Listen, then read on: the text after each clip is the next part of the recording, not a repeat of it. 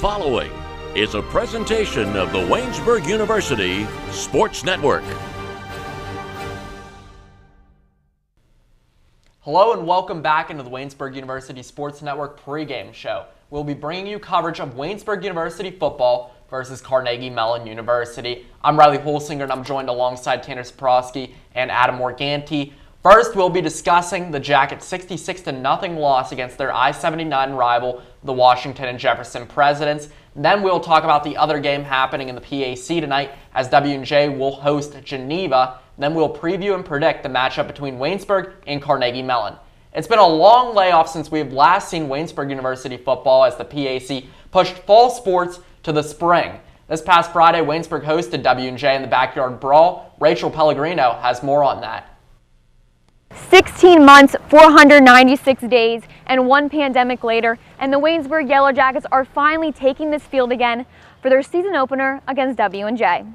Despite starting the season with 16 new starters on both sides of the ball, Waynesburg came out strong. I think we ran the ball well. We came out, and like I said, we played pretty well at the beginning. But that momentum didn't last long. Washington and Jefferson took the lead early in the game and didn't look back, scoring touchdown after touchdown after touchdown. Waynesburg went for it on fourth down six times, and the team only converted once. Yellow Jackets head coach Chris Smithley's explanation. That was our strategy. That was our mindset. And and you know what? I'll do it. I'll do it 10 times over the same way. After the first quarter, the Presidents were up 21 to nothing. Leading the charge was quarterback Justin Haycock, who completed 17 of his 22 attempts for 201 yards and four touchdowns. After being down 42 in the second quarter, Smithley knew the Yellow Jackets had to make a change. Needed to play Tyler Raines in this game. And that they did. Mason Schrankner started the game, but he didn't finish it. Smithley went to Raines to finish the last two and a half quarters, but Raines didn't provide the Yellow Jackets with the spark they needed. The Division One transfer only completed 13 of his 28 attempts for 95 yards. Assisting Raines were Waynesburg's Brennan Tavarich and Howie Metzger, who were able to catch three passes each. But that didn't compare to W&J's leading receiver, Andrew Wolf,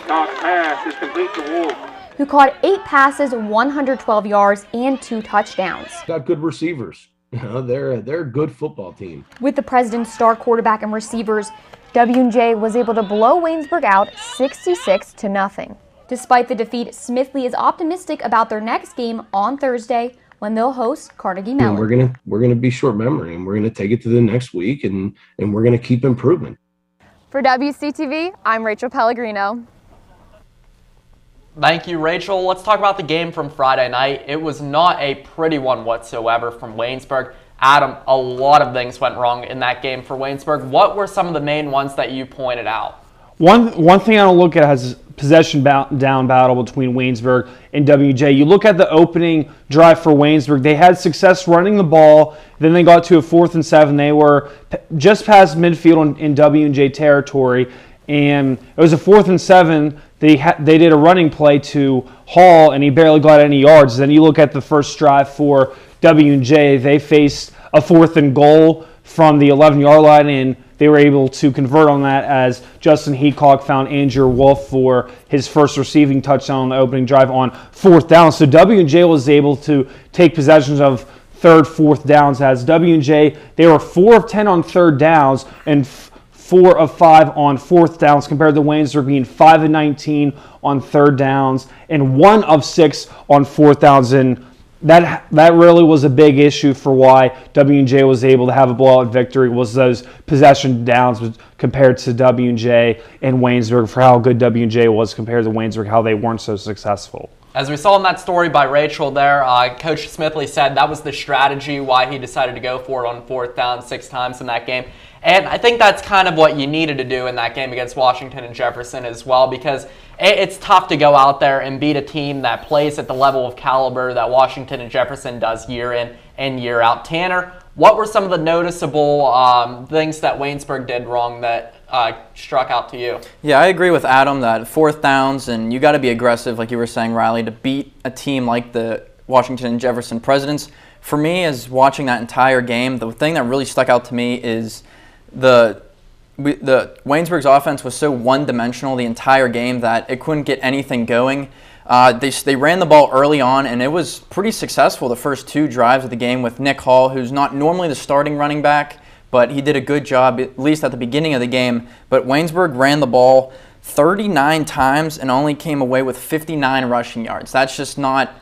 You need a good running game to set up a good passing game, and that's just not get not going to get it done. Passing yards, Waynesburg only had 106 out of two quarterbacks. So I think Waynesburg needs to find ways to move the ball better, more efficiently, so you don't have to get to those fourth downs or those long third downs. So for me, Waynesburg's offense just needs still stay aggressive, but find a way to move the ball side to side down the field and and at least just try to switch it up on offense a little bit. Out of those 39 attempts, Nick Hall ended up having 15 of those attempts for 42 yards. He was kind of the, the bell cow back for Waynesburg in this ball game.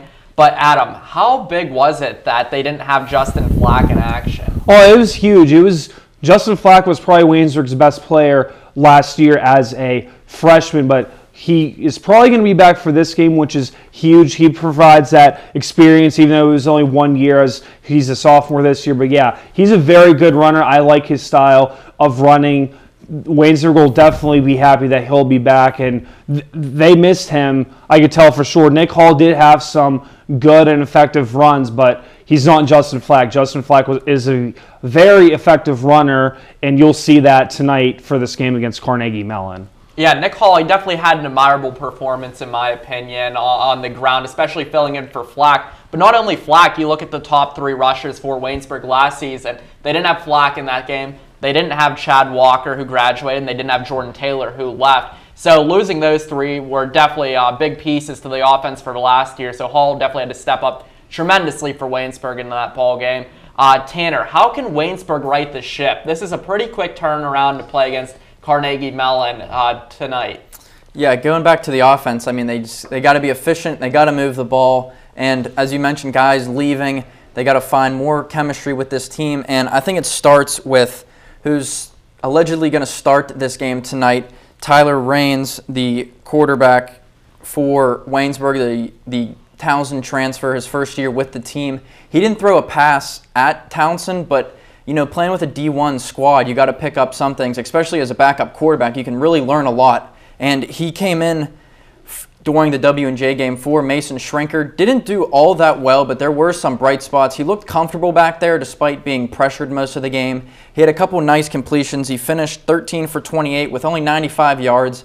But again, Waynesburg's offense, not a big throwing threat. So I think if he can get comfortable under center and in the shotgun and with this offense and the team as a whole, I think that's where it's going to start for Waynesburg, but it's definitely going to take a lot of work if they want to compete with one, some of these stronger teams in the President's Athletic Conference. The passing attack didn't pose as a threat to uh, uh, W&J when you look at the statistics. Tyler Rains only um, 95 yards, going 13 for 28, and he threw an interception as well. When you look at W&J's passing stats, it was a completely different ball game. W&J's backup quarterback Colton Jones went 5 for 9 with 99 yards and a touchdown. That was more yards than Waynesburg's leading passer in that ball game. So that just goes to tell you uh, the success that W&J had through the air. And then you look at quarterback Justin Haycock, who filled in for Justin Adams and played admirably, 17 for 22, 201 yards and four touchdowns.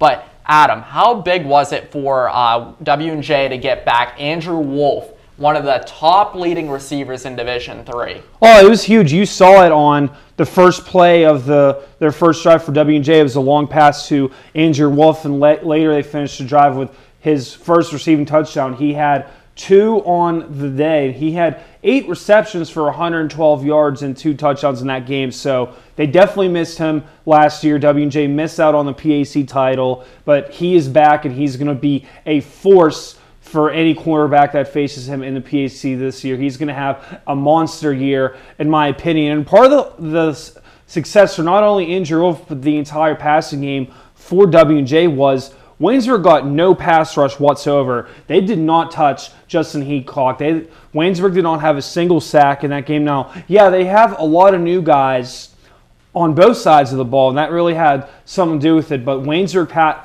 Waynesburg's pass pass rush has to be way better than it was this past Friday, or else quarterbacks are going to have an easy field day and be able to write a poem or something back there for how much time they're going to have back like Heacock did. Because on, on that first touchdown, Waynesburg had good coverage, but he had forever. He had all day to throw. He was able to step up in the pocket, and your corners can't cover for that long. So really, that's why Wolf was able to get open because Heacock cattle all the time in the world. So really, that was the key for how good Andrew Wolf was in the entire passing attack for WJ. because Waynesburg just didn't have a pass rush. One of the big things that um, attributed that is Waynesburg is starting 16 uh, new starters on both sides of the ball. So a lot of players were being replaced on defense from last season when we look at it. Tanner, how big was that to show the inexperience of Waynesburg by only returning six starters to its roster? Yeah, you could really tell that they're pretty much a new team out there on defense. As Adam mentioned, basically no pressure on the quarterbacks at all in that W and J game. And as Adam mentioned, your corners just doesn't matter how good they are, it's going to be impossible to stay on a wide receiver, especially a guy like Andrew Wolf for seven, eight seconds every single drive because you can't get into the backfield.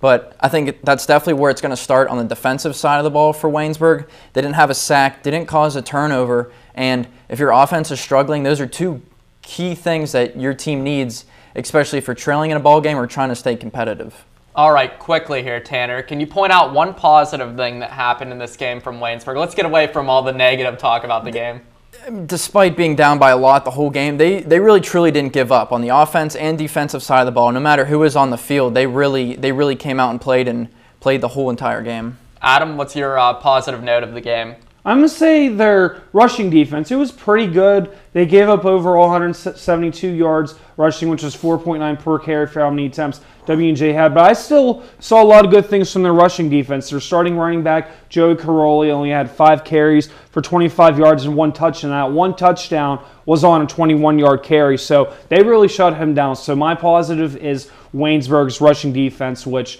I think will continue to have success throughout the season. They were very good last year in rushing defense, and I think that continue that will continue to happen this year.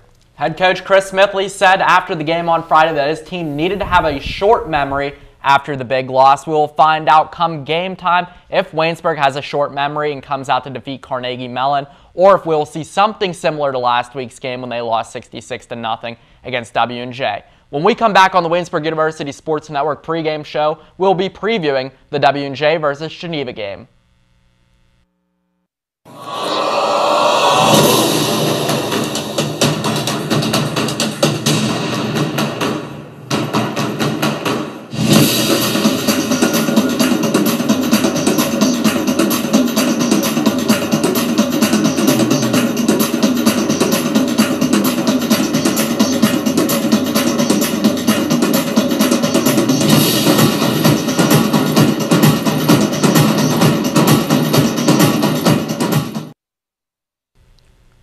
We just mentioned the Waynesburg and Washington Jefferson game from last Friday. Tonight, the Presidents are playing the only other Presidents Athletic Conference game against Geneva. W&J is coming into this game at 1-0, while Geneva is winless at 0-1. Let's talk about the Presidents first, Tanner. How tremendous is it for W&J to go from a star quarterback in the PAC and Jacob Adams to a guy in Justin Haycock who pretty much just looked like Adams out there, if not better?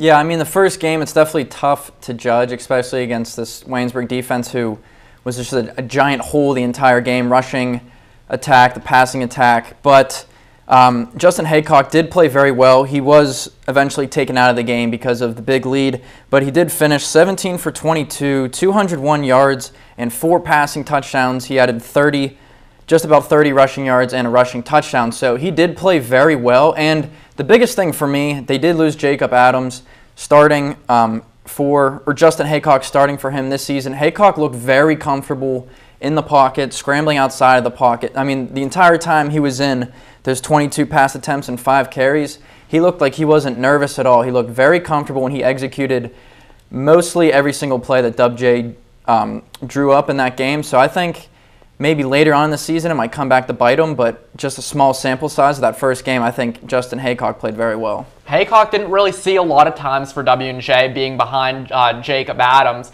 Adam, how did Justin Haycock look to you personally as a quarterback for W&J? He looked really good. There, it didn't look like there was much of a drop off at all between Jacob Adams and Justin Haycock. And not only did he have four uh, passing touchdowns, he also had one rushing touchdown. So he kind of showed his dual threat cap- capabilities for his presence offense. And yeah, he looked very comfortable, as Tanner said, s- scrambling when Waynesburg was able to apply pressure and he was able to find his open man. Very accurate, too, being 17 of 22 also helps when you have guys like Andrew Wolf and Peyton Scalos throwing the ball to two very good receivers and definitely the best duo in the PAC. So he looked really good for being a first time starter for me against Waynesburg, and he will continue to improve for this W&J offense. You just answered my next question, Adam. I was going to ask you if you thought there was any wide receiver room in the PAC that would be better um, than Scalos and Andrew Wolf, and you're just shaking your head no. Tanner, do you think that there's any wide receiver room in the PAC that amounts to the President's? I don't think so. I mean, Andrew Wolf is just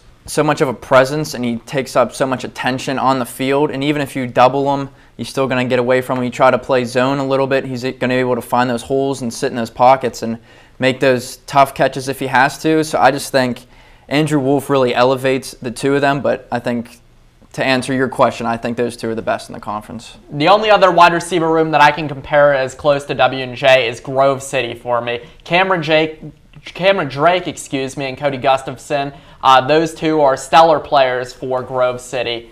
Geneva, let's talk about them now. They had a seven to nothing lead over Westminster early on, but Westminster slammed their foot on the gas pedal and scored 52 unanswered points.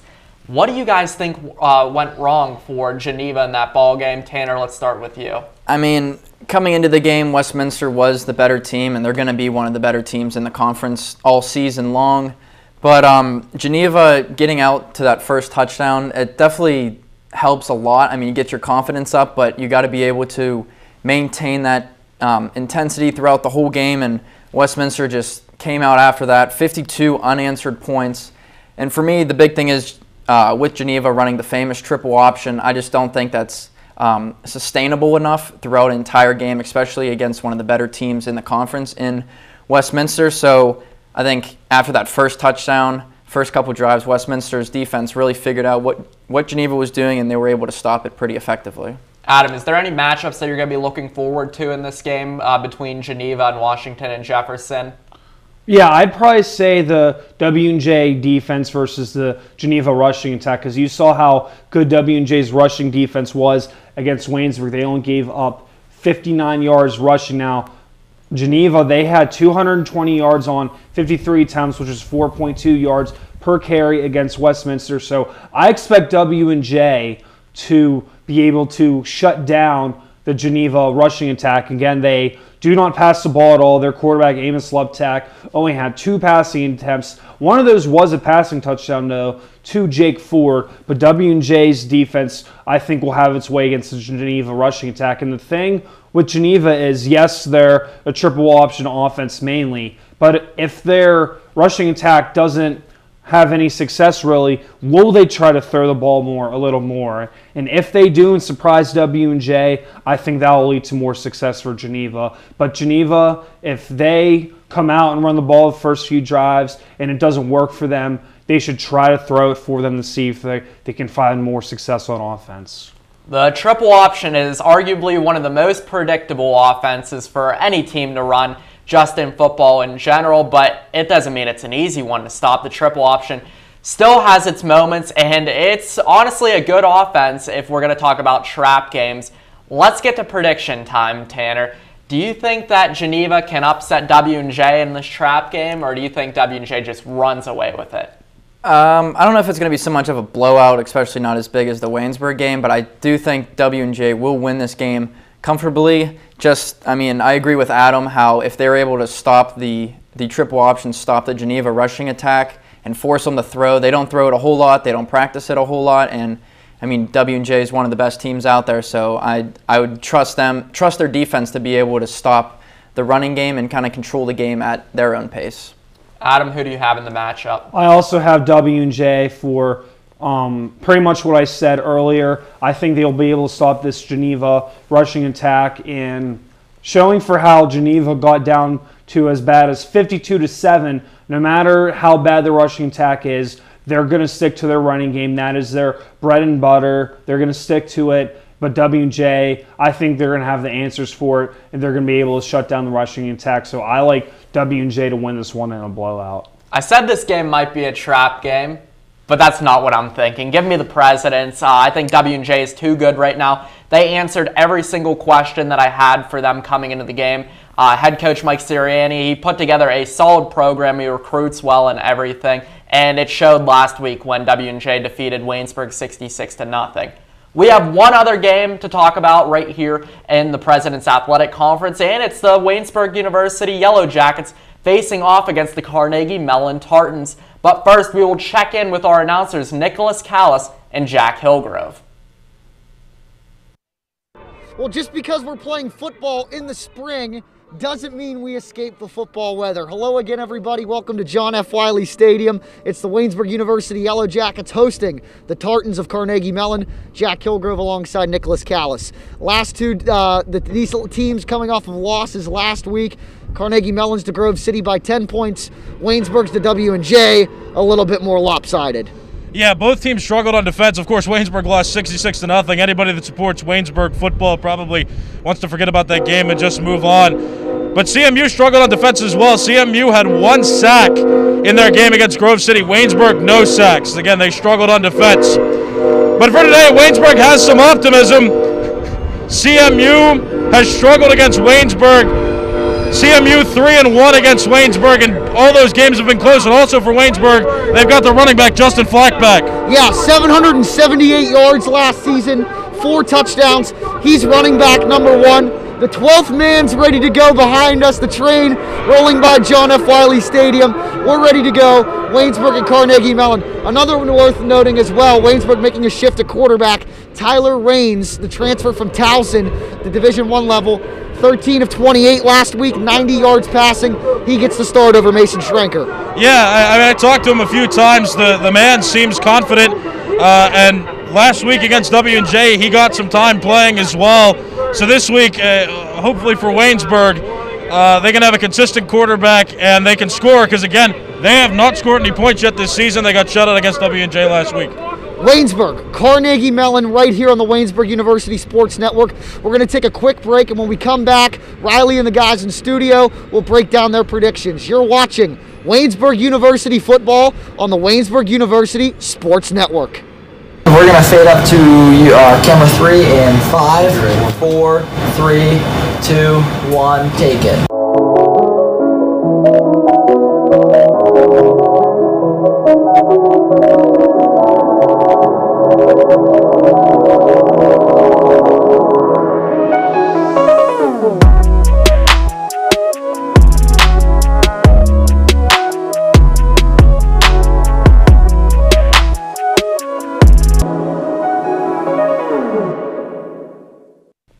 Now it is time to talk about the matchup the Waynesburg University Sports Network will cover today. Waynesburg takes on Carnegie Mellon. Both of these teams are heading into today's matchup winless. Waynesburg is coming off of a 66 0 blowout loss against W&J, while Carnegie Mellon fell to Grove City 24 14. Tanner, what are some of the matchups that you are going to be looking forward to tonight between the Tartans and the Yellow Jackets?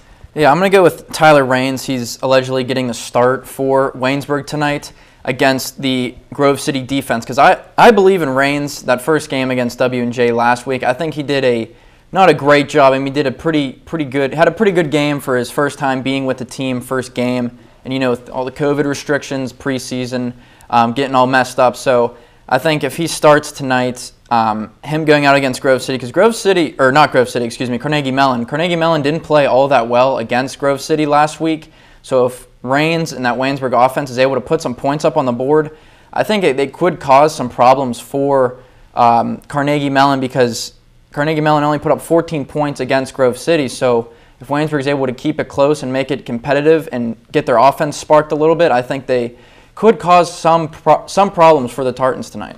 Adam, what's your matchup to watch for in this ball game? I'm going to say Justin Flack versus the Carnegie Mellon defense. And if Tyler Rains does start, you have a quarterback there with not much experience playing in the PAC, so you want to rely on that run game. And Justin Flack is the perfect guy to do that at running back for Waynesburg. So if if you're able to feed the ball to Justin Flack and he's able to get a couple first downs for you in that opening drive, get some momentum, get get yourself in scoring position that'll be great for Waynesburg and for Justin Flack as he didn't play in the game against W&J. So if Justin Flack can get off to a good start, that'll spark this Waynesburg offense, and I'll get off Waynesburg to a good start in this game. So my key matchup is Justin Flack versus Carnegie Mellon defense. Good matchup. You guys ended up touching up on the roommate duo of Justin Flack and Tyler Rains. I didn't know if you guys knew about that, that they both roomed together after uh, Rains transferred in from Towson.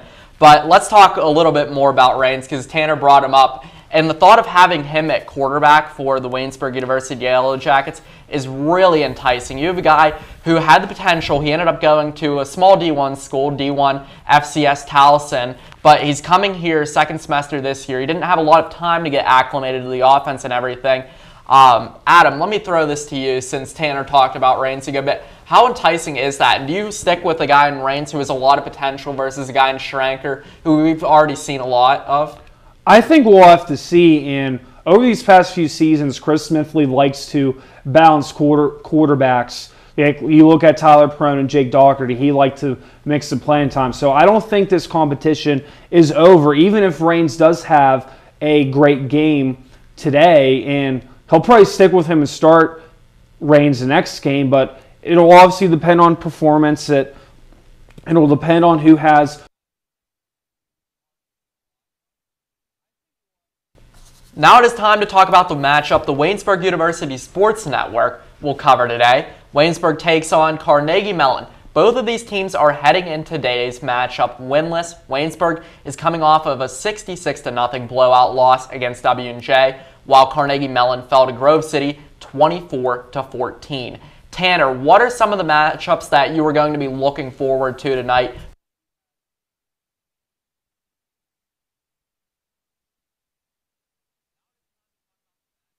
A couple years ago, you had Perone and Doherty battling it out for quarterback.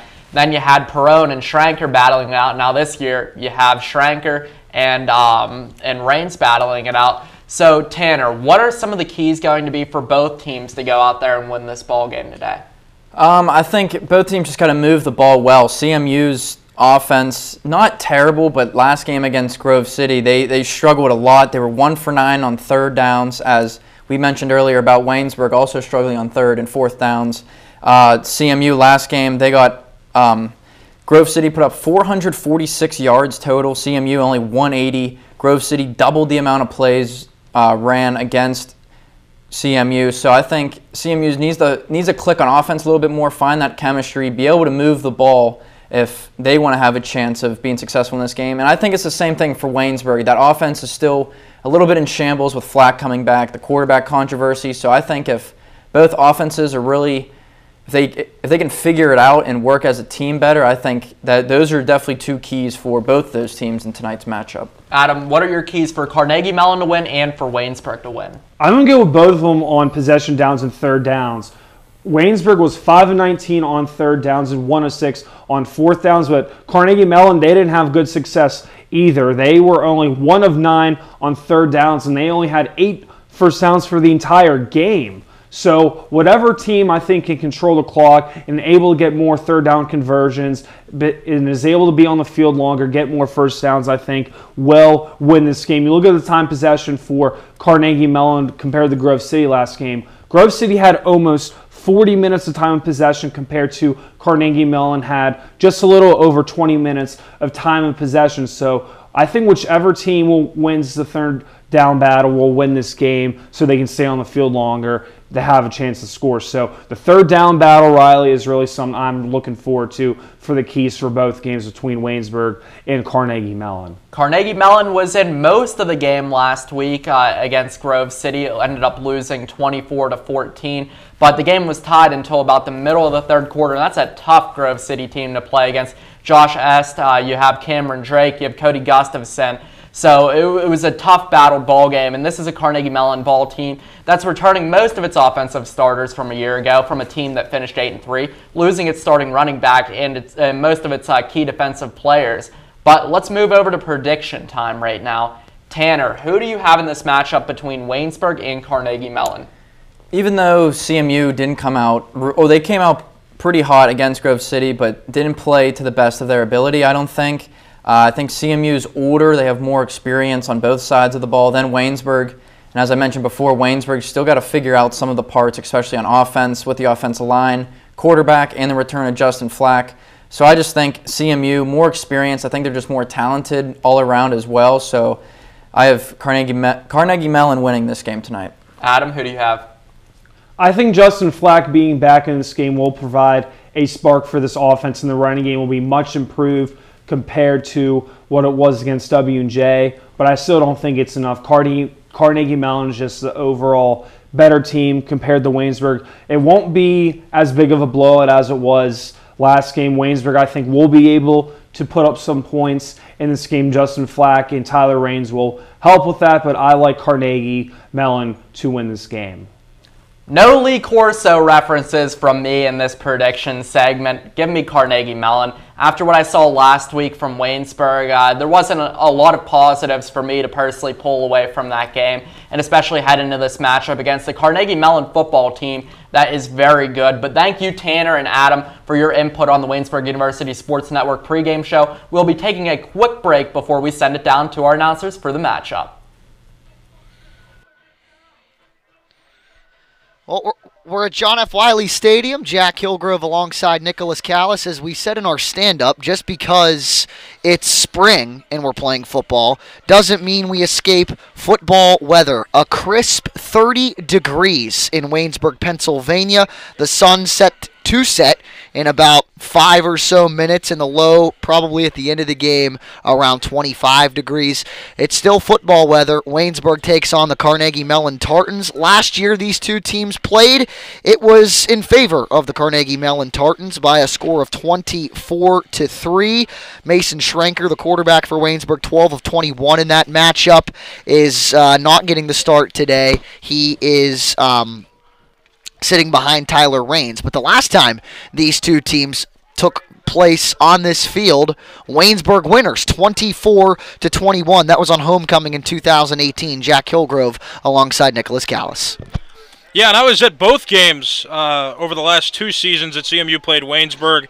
Uh, it was exciting for Waynesburg. I remember uh, when Tyler Perone was on the team, he was real excited after the game. Uh, felt hopeful for Waynesburg football. Last season, however, the 2019 season uh, was not as great for Waynesburg. Only one win out of 10 games. That was against Thiel, uh, a team that hasn't won a game in years now. But, uh, I mean, this team right now is still a big question mark. Waynesburg is. I mean, Washington and Jefferson is a notoriously good team, so them losing by as much as they did isn't quite shocking. But in this game, uh, I think they can play better, and Tyler Raines is definitely a wild card for this game as well. He, he, didn't start last game. He's starting this game, but he got some playing time last game, and this game is a perfect opportunity for him uh, to break out, just to play well and see if he can lead the offense to scoring, and then the defense does its job. Waynesburg uh, can play well and compete in this game. Yeah, there you see the Carnegie Mellon Tartans coming out onto the field, and it's they're all led by their head coach Rich Lackner. You saw him right there on your screen in his 34th season. He's been the head man in charge of the Carnegie Mellon Tartans since 1986. Over 200 career wins. Western Pennsylvania Athletics Hall of Fame, a Carnegie Mellon graduate in 1975 and a member of their Athletics Hall of Fame as well. There you see the Jackets dressed in orange, led by fourth year man Chris Smithley, who took over for Rick Shepas. Uh, the all-time winningest coach in program history four years ago. The referees meet at midfield. It looks like the Jackets have won the toss and elected to receive. So the Jackets will move it from left to right. Howard Metzger and Monroe Moeller backed to receive. Waynesburg wore its new uh, black alternate jerseys last week in its traditional home oranges this week. Carnegie Mellon rode whites, gray pants, gray helmets. We're set and ready to go. Waynesburg, Carnegie Mellon. Again, the last time these two teams played on this turf two years ago, Waynesburg winners on homecoming 24 to 21. Waynesburg traveled up to Pittsburgh last season, lost 24 to 3 to Carnegie Mellon. And it's Hayden Hairston, the sophomore, the one kicking yep. for Carnegie Mellon University. Yep, two for two on point after attempts this season. Hairston, the sophomore, will tee it up right at the 35 yard line, two hour left. Oh, it blows over. It's been windy today. It has been a windy afternoon. Uh, calling an audible. Typically, the guys like us at the Waynesburg University Sports Network are up uh, on the scaffolding above the press box. We're in the press box today. Uh, you know, audio concerns, weather concerns, and we wanted to give you the best coverage as possible. Hairston has it teed up, swings a right leg through it, and we're underway. This one is going to be short, and it's going to hit, and it's going to go out of bounds. That's a penalty flag to start this game. Waynesburg University struggled last week with field position. They get some pretty darn good field position to start this game. Going to take it at their own 40 yard line. Yeah, that was uh, Monroe Moeller for Waynesburg, the one who received that. Uh, and it's smart, too. Even if you have one foot out of bounds and then touch the ball, that still counts as a kick out of bounds, which then yields the penalty. Tyler Rains, there he is, number 18, 13 of 28, one interception last week, 95 yards, a long pass of 14 coming into this season. Hadn't played a collegiate game. Committed to Division One Towson. Didn't uh, play all there and then coming to Division Three Waynesburg, hailing from Columbia, Maryland. Well, we talked about the availability of Justin Flack. He was listed as running back number one on the two deep released to us, but Nick Hall gets the first carry of the game, who ran it really well last week, across the, the 35-yard line for a gain of a couple. Flack, la- or rather Hall, last week 15 carries for 42 yards, along of 12, averaging 2.8 yards per clip, getting about Two yards on that play brings up a second and eight at the Waynesburg 37. And this Carnegie Mellon University defense runs a 3-4 defense, and the nose tackle, the 6'2 senior, 300-pound nose tackle, Skylar Blacker. Look for him to make an impact on the line. Rains will throw it. Near side pass is caught past the 40 and up near the 45 yard line. That's Trenton Kearns, the 5'10, 175 pound junior from Falling Waters, West Virginia getting up to the, well, they're going to mark them down at the 42 yard line for a gain of four. That'll bring up a third down and a long, or rather, a long three. And there you see Kearns putting his head down, getting a couple of extra yards. And this is something that Waynesburg didn't do a whole lot of last week. Third and short, they have that right now. And Justin Flack enters the ball game. Yeah, there was a lot of offensive problems for Waynesburg last week. Not a lot of these type of situations, but good sign early in the game. Third and three, gain of five. Handoff. Flack with space. First down and more. Welcome back. The Derry native Justin Flack brings it up midfield, and the Jackets have a new set of downs on their first offensive possession of the game. Again, there weren't too many first down conversions either for Waynesburg last week, so this is pretty exciting. Again, and again, a good sign. Justin Flack back in the game. Tyler Rains completed pass already. Looking up right now. Needed three, got six. Rains in the gun. We'll hand it off. Delayed handoff to Flack, who's got nowhere to go. Back to the line of scrimmage, and that is all. A good job by the Carnegie Mellon defensive front. Looked like Skylar Blacker, the nose tackle. Five tackles last week. The senior from Lake Bluff, Illinois, the first man to him. There you see him on your screen at six foot two, 300 pounds. No gain. Brings up a second and 10 yeah, it looked like a botched option as well. It looked like Tyler Rains didn't want to put it in the belly of Justin Flack, but Justin Flack kind of clamped down and took it himself for a short gain. Flack last season 778 yards. Didn't play last week. Rains pass near side almost into the hands of Sean Brennan. But a good job defensively there for the weak side safety, Nick Sizik, the junior from Portland, Oregon. Another thing about Carnegie Mellon, and they are one of the nation's most renowned schools academically, they pull kids from all over the place. Yeah. We'll run through their starting lineup real quick. Austin, Texas, Illinois, New Jersey, Pennsylvania, Downingtown, Pennsylvania, California, another Illinois, New Jersey, California, Oregon, Virginia, Connecticut, the starters. Third down and 10. Play action fake. Rains under pressure, and he's going to go down back at the 44 yard line. A good job there of the Carnegie Mellon defensive front. And the first man to him, I believe, was Jake Serwin. Here's the replay on your screen. Yeah, so he ran out of time. Brought down by a couple players. A good job there, Serwin as well as Sam Bond, the weak side defensive end. So fourth down and 14, a loss of four yards on the play, and it'll bring the Waynesburg punter into the ball game, Caden Roberts. Short, long snap, but Roberts able to pick it up and boot it away. Fair catch signaled for by the Carnegie Mellon return man. It looked to be Ben Armbruster. And he makes the fair catch, and they'll spot the ball at the 31 yard line. No score, 11 minutes, 48 seconds left in the ball game. The Jackets head to defense, and this is the first time we see senior quarterback J.D. Dayhuff into the ball game. Actually, it's not going to be J.D. Dayhuff. Ben Mills, the freshman, into the ball game starts this one out of the pistol from the Woodlands, Texas. Hasn't completed a pass at all this season, and is a freshman. This is his first time into the ball game, but they're going to hand it off to start the game to Luke Bickledge and he's up past the 30, up near the 35 yard line. I'm going to mark him down at the 34. Gain of three on first down.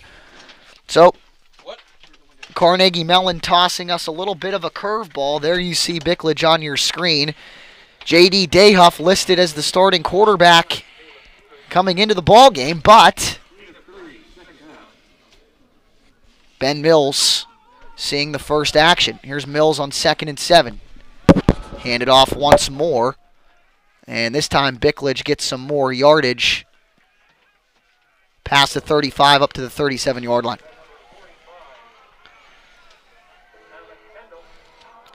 Brings up a Waynesburg third down. Caleb Stevens on the stop. There you see him on your screen, number 91, the senior from New Brighton.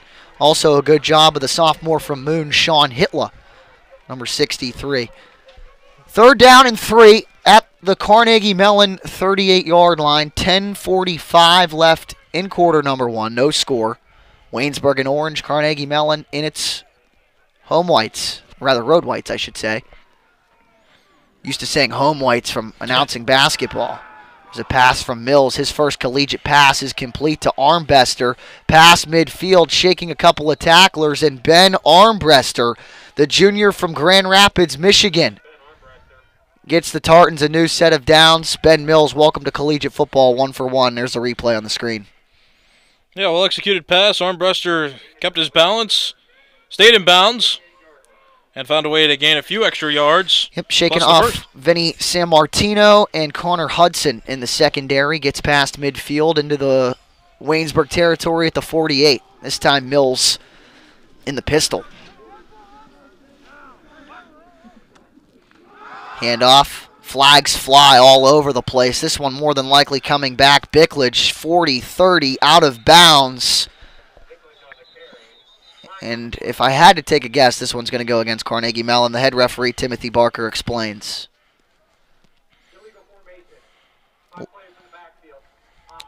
Legal formation, too many men in the backfield for the Tartans. There you see Timothy Barker on your screen.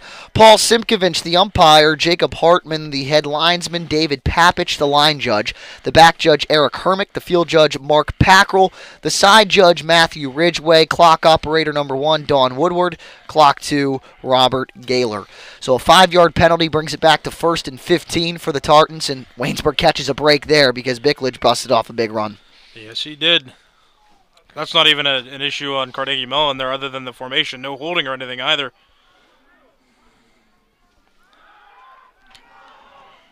Pass far side, good defense there. Braden Mahalik all over Armbruster. The pass incomplete, and it'll bring up a second down. Mahalik, the senior from St. Clairsville, Ohio, 5'9", 175 pounds, brings up second down and 15. Yeah, Armbruster was a primary receiver, too, for Carnegie Mellon last year. You see here he's been targeted a few times by quarterback Ben Mills. Second down, 15, 9-13 left first quarter, no score. Waynesburg and Carnegie Mellon.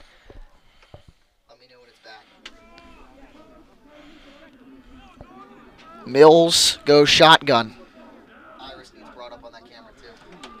Handoff goes to Bickledge.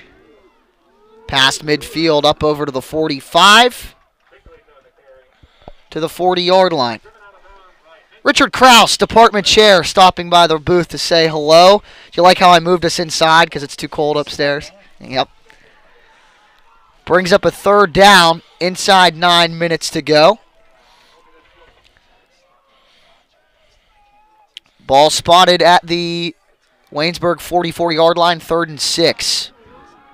Shotgun formation for the Tartans. Back goes Mills. Throwing it long down the field, and it's into and out of the hands and out of the reach of the receiver, Chris Hughes. Good defense by the Jackets. Fourth down, Tartans. Yeah, I saw Brayton Mahalik too coming in on a blitz uh, off the left side of the line, and he did well applying pressure to Ben Mills, which very well may have forced that pass, and the pass went incomplete. So good job all around by the defense on that play. It's fourth down and six. Carnegie Mellon will punt. Howard Metzger Jr. back deep for Waynesburg. And the punter is Casey Jebb, the sophomore. Takes the snap, boots it away, and this is end over end big time. Bounces at the 20, inside the 10, and a favorable Tartan bounce to the five yard line. And that is where CMU will down it. Unlike drive number one for the Jackets, starting at their own 35, CMU pins them deep. Waynesburg the long field challenge for its second offensive possession of the game. And it looks like Chris Smithley and company will stick with Tyler Rains at quarterback. Schlenker, a lot of experience on this team as the starter. Two for seven of 11 yards last week. Rains, 13 of 28, had the interception, but 95 yards. And there's Nick Hall this time for a couple over the middle. So kind of tripped up Hall on there was uh, Noah Castor, one of the linemen. Or excuse me, it was Mason Tolliver, one of the middle linebackers, got him tripped up, and then he fell down and was stopped. Another addition, or rather adjustment, to the Waynesburg University uniforms this season. The last couple of years, they've gone matte black with the helmet. This year, switching to more of a glossy black. Handoff goes back to Nick Hall, and nowhere to go for the Belle Vernon native. Gain of maybe one up to the seven yard line. Jake Serwin on the tackle for the Carnegie Mellon Tartans, the junior from Gurnee, Illinois. It'll bring up a third down and seven, seven and a half to go first quarter, scoreless ball game. Waynesburg off to a better start, pacing wise, I guess you could say, than last week against W and J. Oh, for sure. Again, the final score in that one, 66 nothing.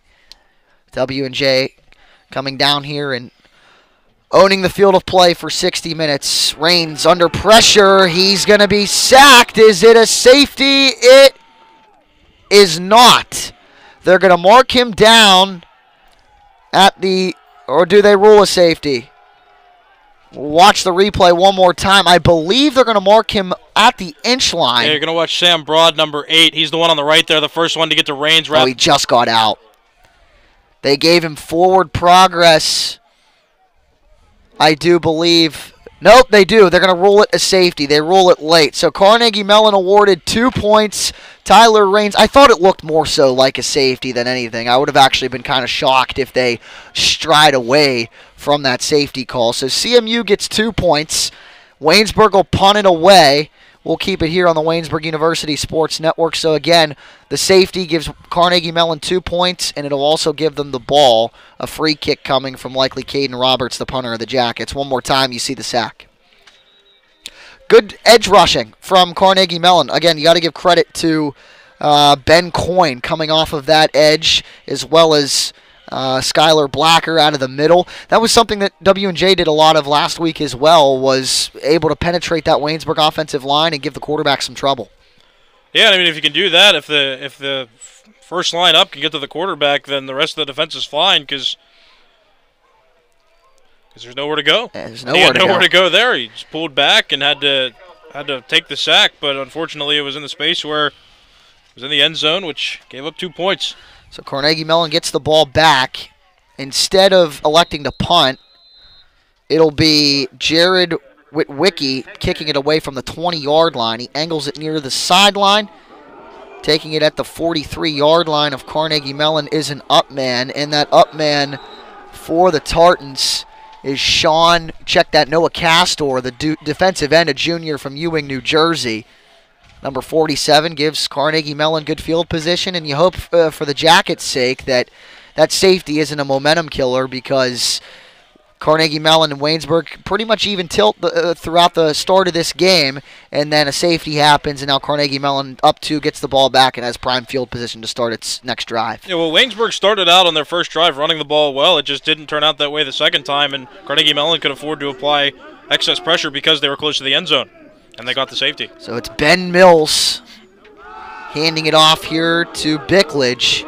Bickledge inside the 35, inside the 30. Nope, right at the 30 yard line as goes Luke Bickledge, the senior from Greer, South Carolina. Looked like Connor Hudson made the stop. Connor Hudson listed as the backup free safety to good friend department all star Jesse Kane, the sophomore. Six foot, 200 pound safety out of Hedgesville, West Virginia, but no sign of Jesse Kane on the field this evening. So in goes Connor Hudson, the senior from Forest Hills, Pennsylvania. A gain to the Waynesburg 30. Bickledge gets it back. And this time, the Jackets are all over him. A fantastic job by that Jackets front seven and wrapping it up. And you see exchanging some words is Brett Hicks, the junior from Chartiers Valley, a standout on this defense basically since his uh, career started as a member of the Jackets. Also a good job there. Alec Handel, the weak side backer, in on the play as well. The freshman from Canon-McMillan. Well, speaking of Jesse Kane as well, just go back to that. Jesse Kane is not dressed on the sideline for Waynesburg. He's wearing a hoodie under his jersey and sweatpants. Last second change to the lineup. Kane listed as the starting free safety on the two deep, released by the team this week. So hopefully everything's all right with social media director of the of the WCTV. And as I say that, Caleb Stevens takes down Ben Mills. Stevens, the senior from New Brighton, gives Carnegie Mellon a third and long, and watch as the senior Stevens penetrates that line right past the right guard, Zach Zaransky, listed as the backup center, in over Sean Pagorals, the right guard, who wasn't in on that play, and that might have had something to do with it. Credit to Stevens to get the sack. Looked like there was pressure coming on the outside too, which forced Mills up the inside where Stevens was to make the tackle. Five minutes left first quarter. Carnegie Mellon a safety up two. Third down and 11. Rolling right and wide open. Mills completes it to his receiver, Mike Uribe. And it's a first and goal upcoming for the Carnegie Mellon Tartans. Uribe was wide open as Ben Mills rolled right. Yeah, good. Watch this again. Had space to roll out. And then you see him just found the open man. Had a little extra time to roll out and throw a strong pass. Uribe, the junior from Canyon County, California, his first reception of the season puts Carnegie Mellon at the two yard line. Mills, handoff, Bickledge, touchdown. Carnegie Mellon scores its first touchdown of the game and the first touchdown of the game for either team. The senior Bickledge tacks on his third touchdown of the season. Carnegie Mellon up eight, looking to make it nine with the extra point. Well, this is a simple inside handoff. Broke one tackle, made a move, and had space up the middle to push through and score. The holder is Jack Koshko, the long snapper Kevin O'Brien, the kicker Hayden Hairston, and it all works. Carnegie Mellon 9, Waynesburg nothing. 4.11 left first quarter. The Tartans come out hot. Stay hot, up 9 nothing on the Jackets. It's Jacket ball when we come back. Waynesburg University football right here on WUSN. Stay with us. We're going to fade up to uh, camera three in five, four, three, two, one, take it.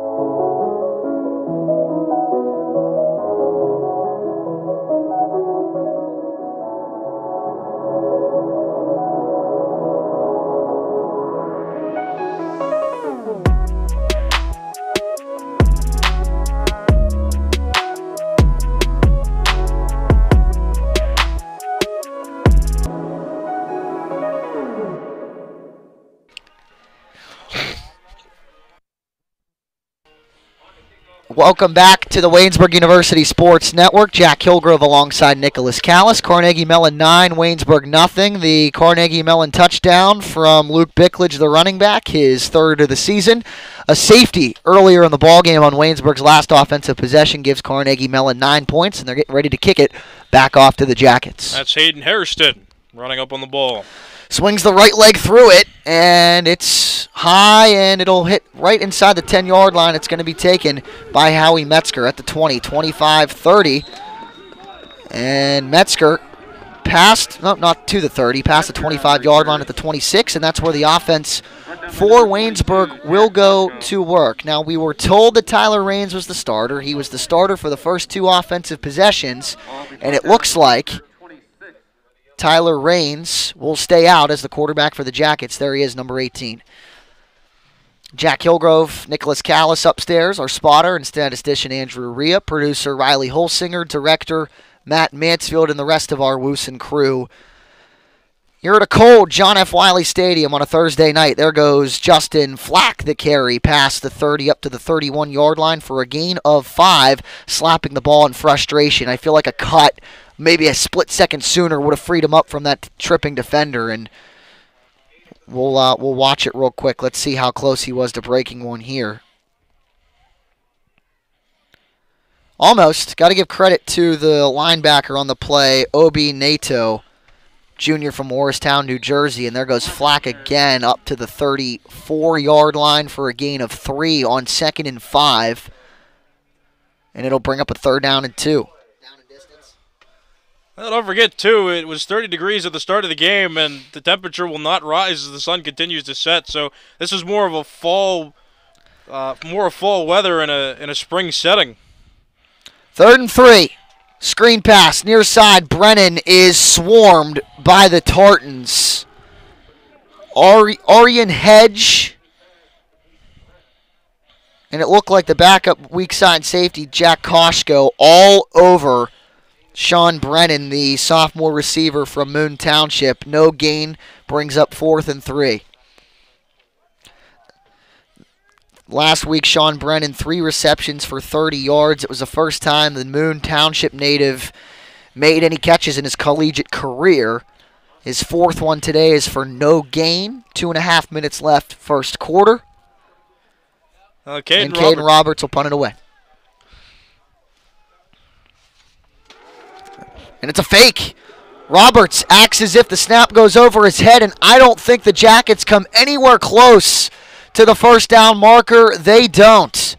The fake does not prevail. Last week, Chris Smithley electing to go with a fake punt with Caden Roberts throwing the football as the punter, and it didn't work. He threw an interception, and this time Smithley goes for the fake. It comes up empty handed once again. Carnegie Mellon already up nine points with some prime field position once more. Yeah, it was Matt Craig with the ball. He just didn't have any space to run. It was uh, the front collapsed and was able to stop that. And now Carnegie Mellon back on offense. Matt Craig, as you mentioned, the junior receiver from Avella. So Carnegie Mellon Mills on the read option keeps it inside the 30 to the 29 yard line. Did you say Jay has the replay? Okay. Yeah, so for uh, for Waynesburg just struggling now, uh, and for Carnegie Mellon, they might have an advantage here on a cold day. Not having to use their starting quarterback, J.D. Dayhoff, might be a, an advantage for the rest of the season. They can let the freshman continue to work and score for them if he keeps up his success, that's Ben Mills. Yeah, 6'2", 205 from the Woodlands, Texas. Dayhoff, 6'1", 180 pounds from Westerville, Ohio. Last week, 8 of 19, 139 yards, one interception, no touchdowns. All three, or rather, all uh, both of Carnegie Mellon's touchdowns from Bickledge on the ground. There's Mills again. He's going to fire it up. The go route is just out of the reach of the receiver Armbruster. As the ball was out of his break and just too long. He beat the defensive, uh, the corner on that side, Vinny Sammartino. That uh, that play just a little too long. There you see Armbruster, the junior from Grand Rapids, Michigan, two catches, 32 yards last week. One catch for nine yards, the other for 23. That was his long. Third down and five. Coming into the game, Carnegie Mellon last week 1 of 9 on third downs, 0 for 2 on fourth downs. Mills the snap. Big rush. Throws across the middle, pass caught. Inside the 20 down to the 15 yard line. That's Uribe.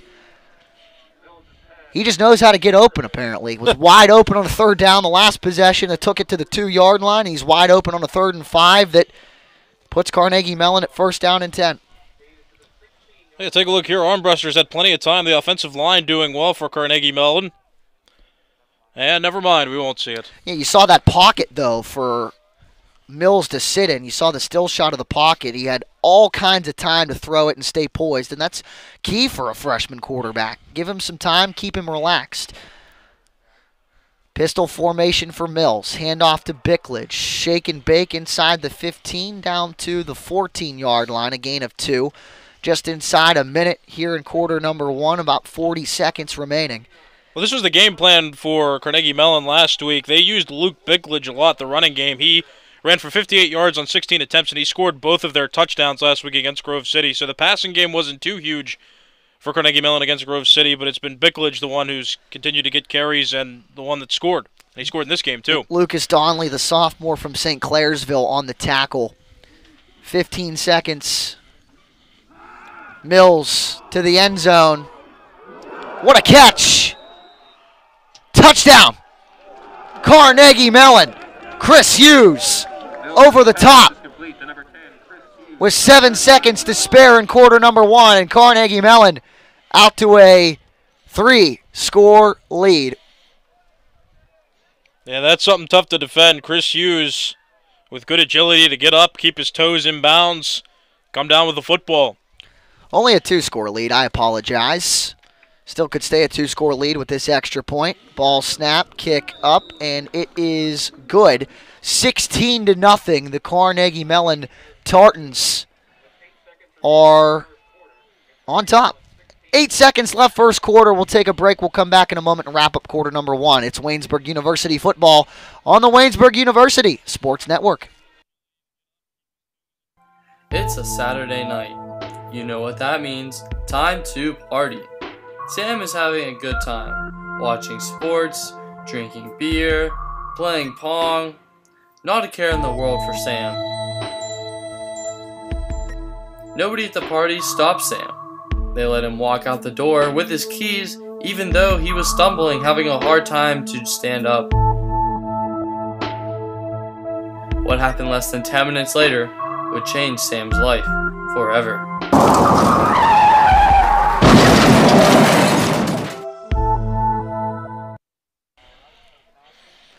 Waynesburg University football on the Waynesburg University Sports Network is brought to you by the Waynesburg University Department of Communication. Faculty advisor Melinda Roeder Skirben, Department Chair Richard Krause, faculty advisor of a bunch of us here, Lanny Frattare, former voice of the Pittsburgh Pirates, stopping down earlier this evening during the setup. There's the kickoff, and Metzger will bring it near side, 15, and he is clobbered on the play. Hit hard is Howie Metzger, the senior from Connellsville. And laying the boom for Carnegie Mellon was Tommy Corey, this freshman safety. And that will bring, oh, no, 3.1 seconds left. So Waynesburg will run one more play in this first quarter before the second quarter, or rather the first quarter ends and the second quarter begins. And while we wait an up, uh, an update on the other game going on today in the President's Athletic Conference. Washington and Jefferson College leads Geneva College with uh, 14-19 left in the second quarter. So these games relatively around the same point. Yeah, 6 nothing the score in that one. For those of you keeping score at home, W&J outscoring opponents 72 nothing to start this short spring 2020 season. There's a run off the left side for a gain of about one. Second down and nine, first quarter over. We're going to take a break and we'll come back and bring you the second quarter momentarily on the Waynesburg University Sports Network. We'll see you in a sec. Have you ever been to the Eberly Library? If not, you should, because it's great. They have books of all different genres history, biography, fiction. Try The Evolution of Life, Life of Pi, or Jurassic Park. So, what if books aren't your thing? Try movies, like Frozen, or TV shows, like Lost. Books and DVDs aren't the only thing, though. take a trip to the second floor. Welcome to the Writing Center. These tutors will tell you everything you need to know about writing a paper, and they'll help revise your essays. Now let's head back down. Behold, the Knox Learning Center. Need to print something out five minutes before your next class because you procrastinated? No problem. You can also print off pictures of dogs. Because, well, you can. So grab your homework, laptop, and textbook, and study diligently. Bring your lunch too. Actually, you can't. That's illegal. There's a pass down the near side, tipped and picked off. With it for Carnegie Mellon is Aaron Hedge. Hedge inside the 20 to the 15, and a flag flies at the end of the game. The ball tipped originally by Kevin Arcia, and then into the hands of Aryan Hedge, the sophomore strong safety. Won't back to the second quarter of play. Waynesburg turns it over on the first play of the quarter.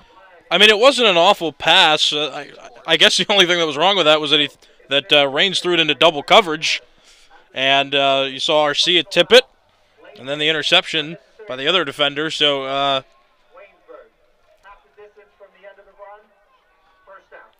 so a personal foul penalty against the Jackets will bring Carnegie Mellon closer half the distance. They returned it to the 18. They'll get it now at the nine yard line.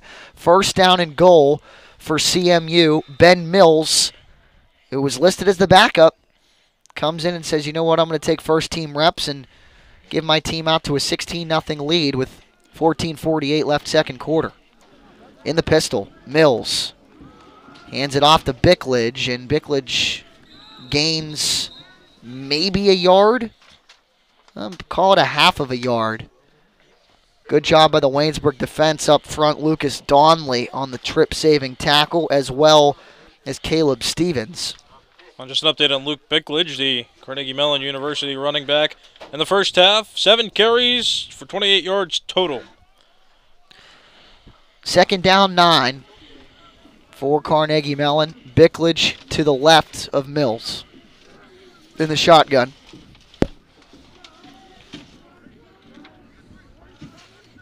Man goes in motion, snap, Bickledge, handoff, and he's bottled up right away. Alec Handel off of the edge. Also, Braden Mahalik on the corner fire. The two jackets to the ball carrier. No gain, third down and nine. And despite the score, Nick, Waynesburg's given you know Carnegie Mellon a couple of difficult third down opportunities, but a guy by the name of Michael Uribe just is wide open on all of them. But the defense is putting themselves in pretty good positions uh, in, in providing third down, favorable third downs. Snap. Mills. End zone. Too easy for the Carnegie Mellon Tartans. Touchdown. No, do they call that incomplete? They do. The judge, the side judge on the far side, Matt Ridgway, says no. He bobbled it. And Chris Hughes respectfully disagrees. Hey. We might be able to give you a good look, but it's Division Three football. There's not going to be a replay review. Fourth down and eight, and Carnegie Mellon's going to kick a field goal.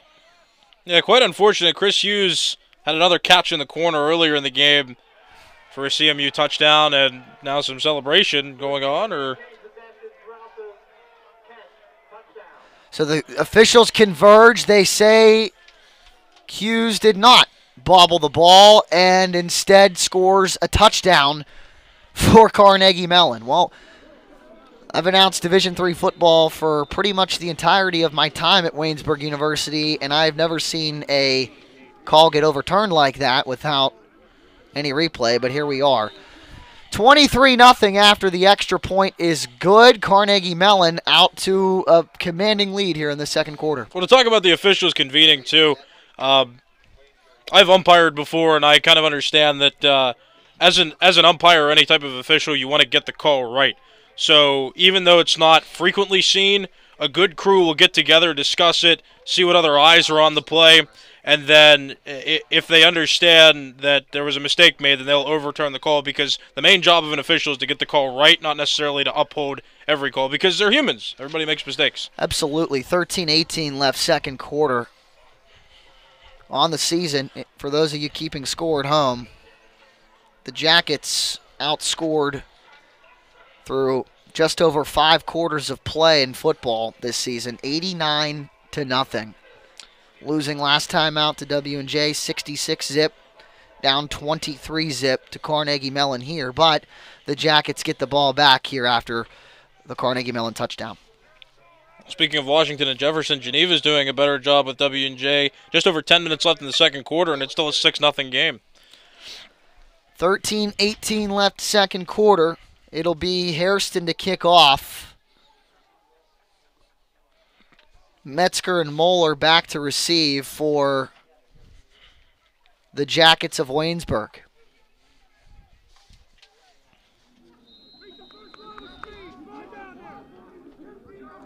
Hairston's boot is a low line drive that'll hit at the 10 yard line, and this time it's Moeller to the 20 25 up near the 30 yard line, and he'll be brought down at the 29 yard line by a swarm of Tartan footballers, and that's where the Jackets offense will take over.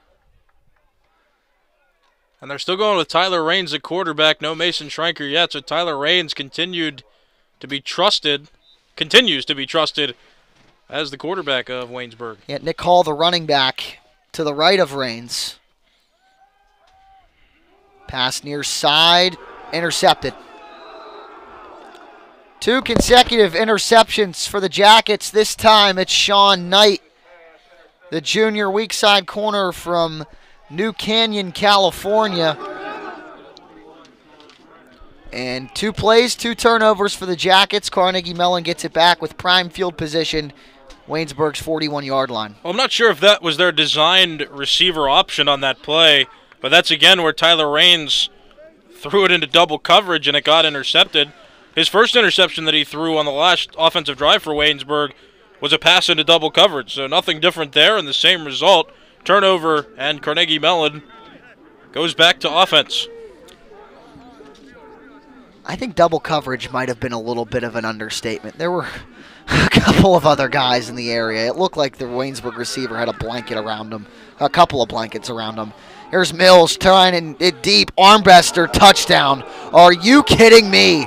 Welcome to Division Three football. Ben Mills throwing an absolute dime to Ben Armbruster, beating the Waynesburg corner, Brendan Mahalik, on the near side. One play, one score, 29 0 Carnegie Mellon up top. Well, the largest deficit that Waynesburg lost by to Carnegie Mellon was the 2019 game where they lost 24 to 3, so a 21 point deficit.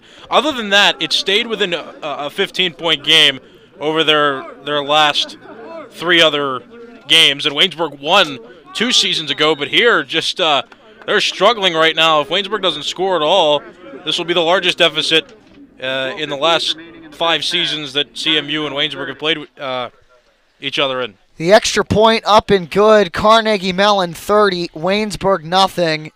12:58 left second quarter.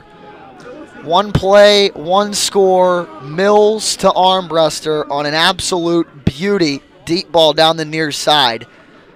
Carnegie Mellon losing last week, only scoring 14 points against Grove City, but they're out to a little bit more of a commanding lead and a little more poise offensively that gives them 30 points only three minutes into the second quarter. Part of the problem, too, for Waynesburg on that play was Braden Mahalik, the one who got overpassed. Uh, but Mahalik seemed to look up for the ball a bit too early, and then Armbruster seemed to sneak behind him toward the end zone, then got past him and had the open space to catch that pass. So again, Hairston will kick it off. We shall see if Chris Smithley sticks with Tyler Raines, but if I had to take an educated guess, I would expect to see Mason Schrenker come out as the quarterback after two consecutive interceptions from Raines. I don't know how. It depends. Uh, it depends if those plays were planned. Like if they had one receiver they yeah. were looking for, then it's not Raines' fault. But if Raines is actively throwing into multiple covered receivers, that's that's a that's a quarterback problem. One more time for Moeller, past the 20 up to the 23 yard line. It's where he's tackled by Carnegie Mellon, and Waynesburg will come out again offensively.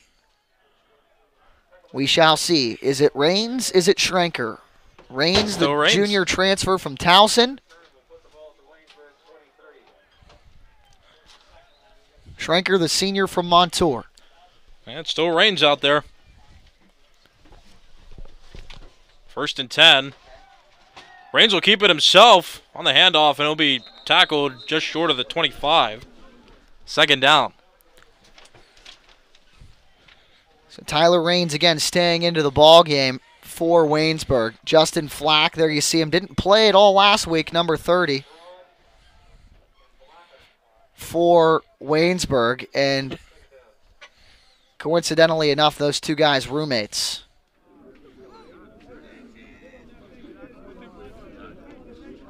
Here's Rains again with an open. Sean Brennan past the 30 yard line. The pass is caught. Past the 30 up to the 31, and Waynesburg able to gain some yardage there. Again, down 30. There you see Brennan, the sophomore from Moon Township.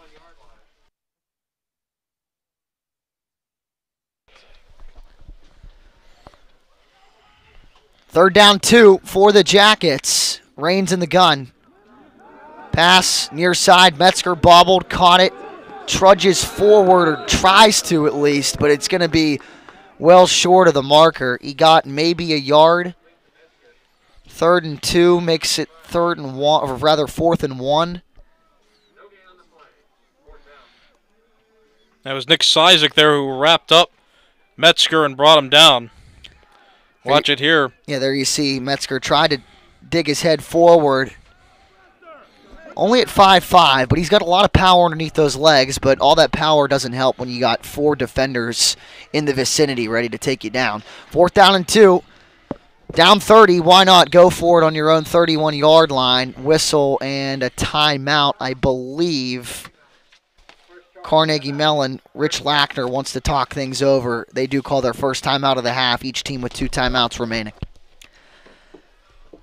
It's the Waynesburg University Sports Network. Check us out on YouTube, WUDP. Thank you for joining us. You can check out all kinds of shows that we create at WCTV about politics, news, sports, entertainment, and a heck of a lot of good content on WUDP. Thank you for joining us.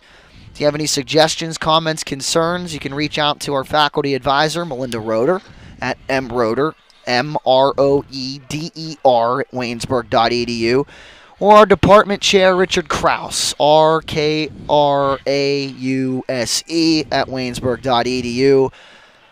To very supportive people of the Waynesburg University Sports Network, Professor Krause, dropping a lot of things uh, at the drop of a hat and getting things done for us to be able to broadcast sports this spring. Nothing going on in the fall. There's the handoff to Flack, who I believe is able to pick up the first down.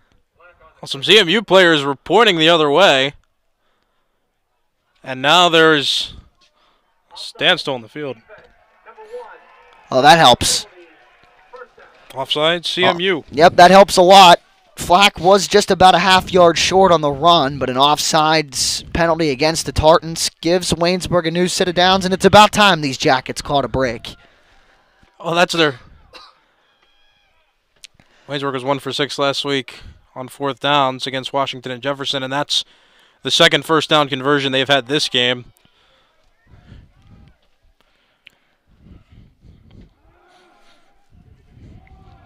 Across the middle, pass is batted away. A good job there, Nick Sizek, the safety across the middle. Had a beat, did the receiver Sean Brennan on the defender, but a diving effort from Sizek to be able to bat it away brings up second and 10 for the Jackets. Here you see it one more time. Oh, he didn't even bat it away. Brennan just didn't catch the football looked like from up here that Siza got it, might have got a hand on it, but and there you see another one. And this time, the Jackets make up for it. Pass complete across midfield. And Brennan said, I dropped the last one. I'll catch this one. First down, Jackets. Short memory for the sophomore from Moon Township. Take a look at the replay soon as Waynesburg gets set back up on offense. Actually, we might not be able to cut to a replay. Chris Smithley says, let's put the tempo. We'll cut it Well, quick. There it is. Good catch. Good contact as well. Hedge get, uh, laid the boom. But Brennan was able to hold on to it. And as I say that, Flack takes the carry past midfield up to the 47, rather down to the 47 yard line. Gain of about two. Inside 10 minutes remaining second quarter.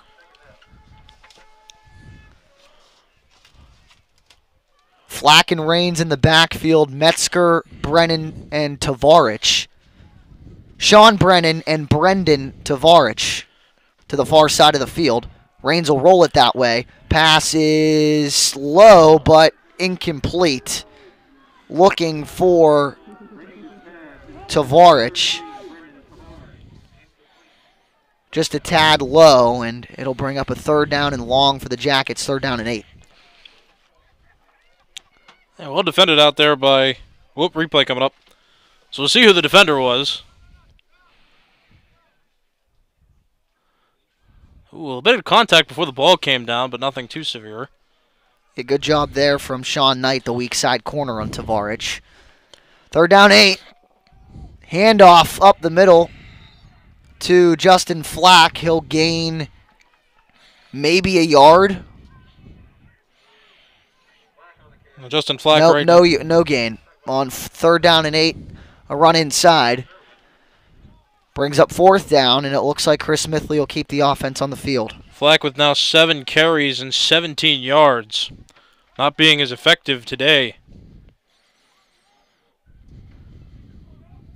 Nick Hall coming into the football game now. He will stand to the right of Reigns in the shotgun. Two receivers bunched either way. Reigns back to pass on fourth down. Big rush, throws, and the pass is caught. No, incomplete. A good job there from the Carnegie Mellon defender on Sean Brennan, who had a beat on it but wasn't able to come up with it. Good job there. You see him on your screen. Nick Sizek, the weak side safety, will watch the replay. Definitely not a bad pass. Slowing it up here, it was in his hands and out of his hands. Yeah, there it was. Right at the end of the play, Brennan had it and then fell, uh, or rather, it fell out of his hands, and I think Nick Sizek had a little bit to do with that. These Carnegie Mellon members of the secondary are all over the jacket receivers. So a turnover on downs. Mills hands off to Bickledge, and Bickledge will run it far side. Tries to get out of bounds. Gets up to the 49 and a half ish yard line for a gain of about three. And they're going to mark him down right at the 49 for a gain of two. Prior to that last run, Luke Bickledge, nine attempts, 29 yards gained so far this game, again, minus that last run.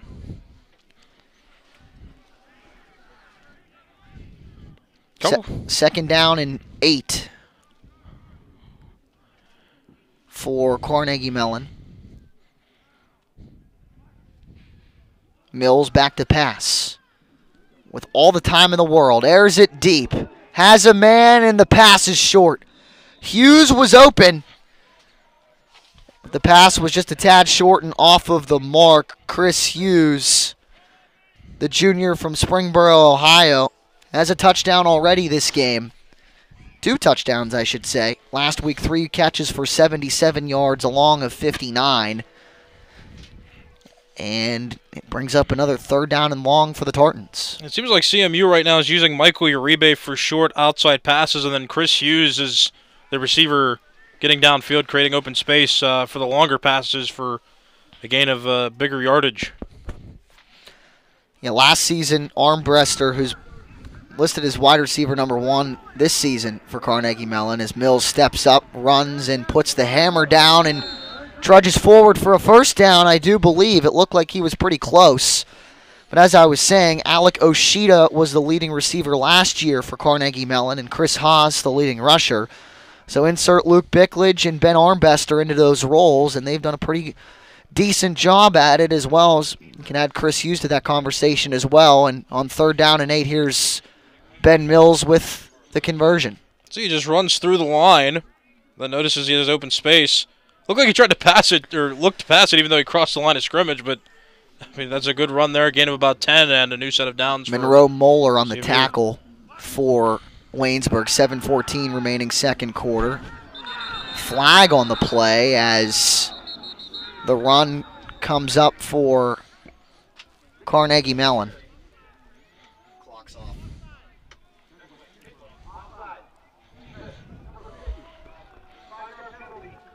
So an offsides call on CMU. No, on Waynesburg. Oh, on Waynesburg. I'm sorry. CMU benefits. Yes, they do. Five yards. There he sees the flags fly as Sean Hitler heads into the backfield to make the play just a tad too early.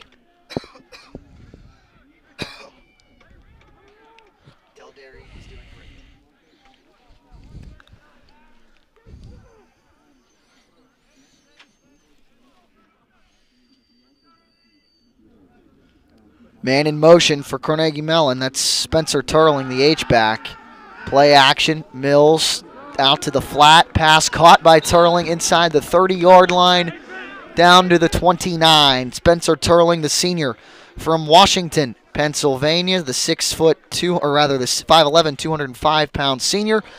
Brandon Tanko on the tackle, the sophomore middle linebacker from Hyattsville, Maryland, and there you see the conversion for Carnegie Mellon. Well done on the fake. Huh. Yeah, fooling our camera operator on that side, Brock Owens. I guess that's how you know It's a good fake. it's a good fake. And you see that. Oh, there's a fumbled snap. Mills picks it up, almost tackling him by the shoestrings is Ntanko. So Mills runs it far sideline. He'll end up losing a yard. But a good play by Mills to be able to pick it up. It's a shame that Ntanko couldn't get to him a little quicker. Yeah, but also a good job by the freshman quarterback who's yep. moving around. He's rushed pretty well. He's thrown some good passes. Yeah, just watch this here. The scramble just missed him there, and then recovers. So instead of a loss of seven, it's a loss of one. Alec Handel made the stop. And in a play like that, if you can only lose one yard, it's almost like it's a gain. Because, you know, the, the turnover percentage on a play like that is higher than keeping the football. Brings up. As a flag flies, a screen pass inside the 15 down to the 13 yard line, but I have a hunch, Nicholas Callas, this is coming back. And I believe it will. It's going to be holding against Carnegie Mellon. I'm not sure that was a screen pass, though. I think Ben Mills just ran it up the middle. He was the one who was the ball carrier. And it is. Yep, holding. It'll back it up to the 31 yard line. Oh, even further back than that. The 41 yard line, I apologize. Makes it first down and 22.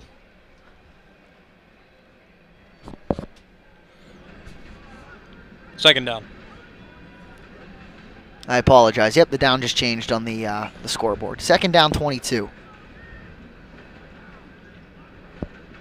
Snap, handoff, Bickledge inside the 40 down to about the 36 yard line.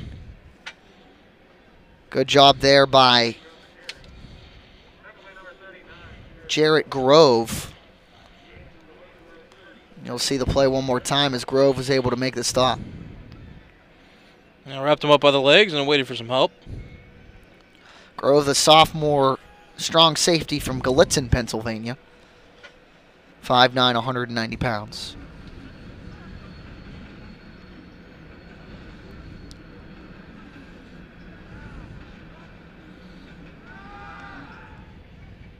Mills with time, rolls it right.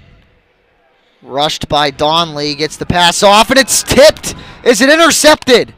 No, incomplete. Brandon Tanko had it into his hands. Wasn't able to keep his feet in bounds as he juggled it. And it'll bring up a fourth down for Carnegie Mellon, but a very, very good play by the sophomore linebacker Tanko. And Waynesburg might lose some time instead of the interception. See, they're just nah, one Ooh, I foot. don't know. How much did he bobble that football? As Let's go back a Jeremiah. Miller fat rewinds it for us. Uh, uh, one? No. Oh! Close. Definitely close. We might need to go down there and tell the referees, hey, we can f- rewind stuff. Yeah. Give us a replay. I don't know. I mean, the, the- what do they call it? Inconclusive evidence. I don't know how inconclusive you would call that, but I think it might have been an incom- or rather an interception instead of an incomplete pass. Give Tanko all the credit in the world, but again, it'll bring up a fourth down and 18 with 3:51 remaining in quarter number two. Carnegie Mellon up a lot, 30 to nothing. The Jackets outscored by opponents this season, 96 nothing. Falling to W and J last week, 66 zip, down 30 to zip to Rich Lackner and the Carnegie Mellon Tartans. As we mentioned earlier, Rich Lackner in his 34th season as the head coach at CMU, a Hall of Famer at CMU and in the Western Pennsylvania Athletics Hall of Fame, over 200 career wins. Been the head coach at CMU since 1986, and last season led the Tartans to an 8 3 record, a loss in the Scotty Whitelaw Bowl, an ECAC bowl to Brevard University. Punt gets away on fourth and 18. Fair catch called for by Howard Metzger inside the 10 at the 9 yard line. 343 left in the second quarter on the Waynesburg University Sports Network, and the Jackets will take over offensively for the first time in what seems like an eternity for Waynesburg. Well, on offense, they only have two first down conversions. Two drives have ended in interceptions, and the rest were punted away. And it's Tyler Raines.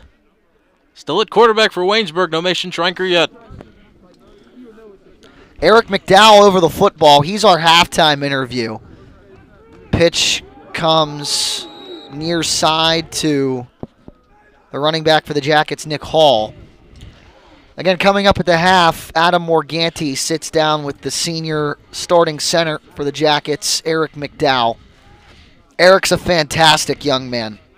Shady Side, Maryland. Loves the game of football. Passionate about the university he attends and the program he plays for. And I got to see a little bit of the interview, and he is fantastic with Adam Morganti. So you're not going to want to miss that. Eric McDowell at halftime on the Waynesburg University Sports Network halftime show. Fake pass, handoff up the middle. This time it's Justin Flack. And Flack gets to the. Well, not back to the line of scrimmage, to the eight yard line. For a loss of one, it brings up a third down and 11 for Waynesburg.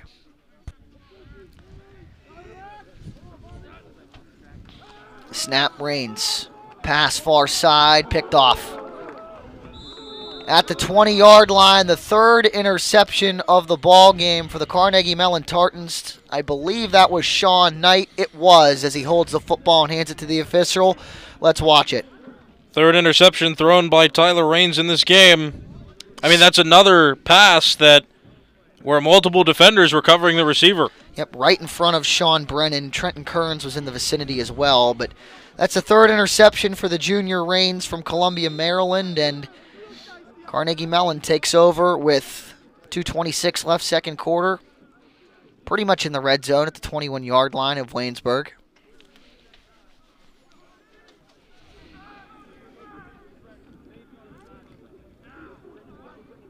Snap goes to Mills, handoff goes to Bicklich. Breaking one tackler inside the 20 down to the 17 yard line for a gain of four. Tanko on the tackle for Waynesburg, and we approach inside two minutes left in half number one. Well, the CMU scores it all on a field goal or a touchdown. Waynesburg will have had 100 points scored on them before scoring at all. Am I sending it to break and then go into the halftime interview, or break us, break halftime?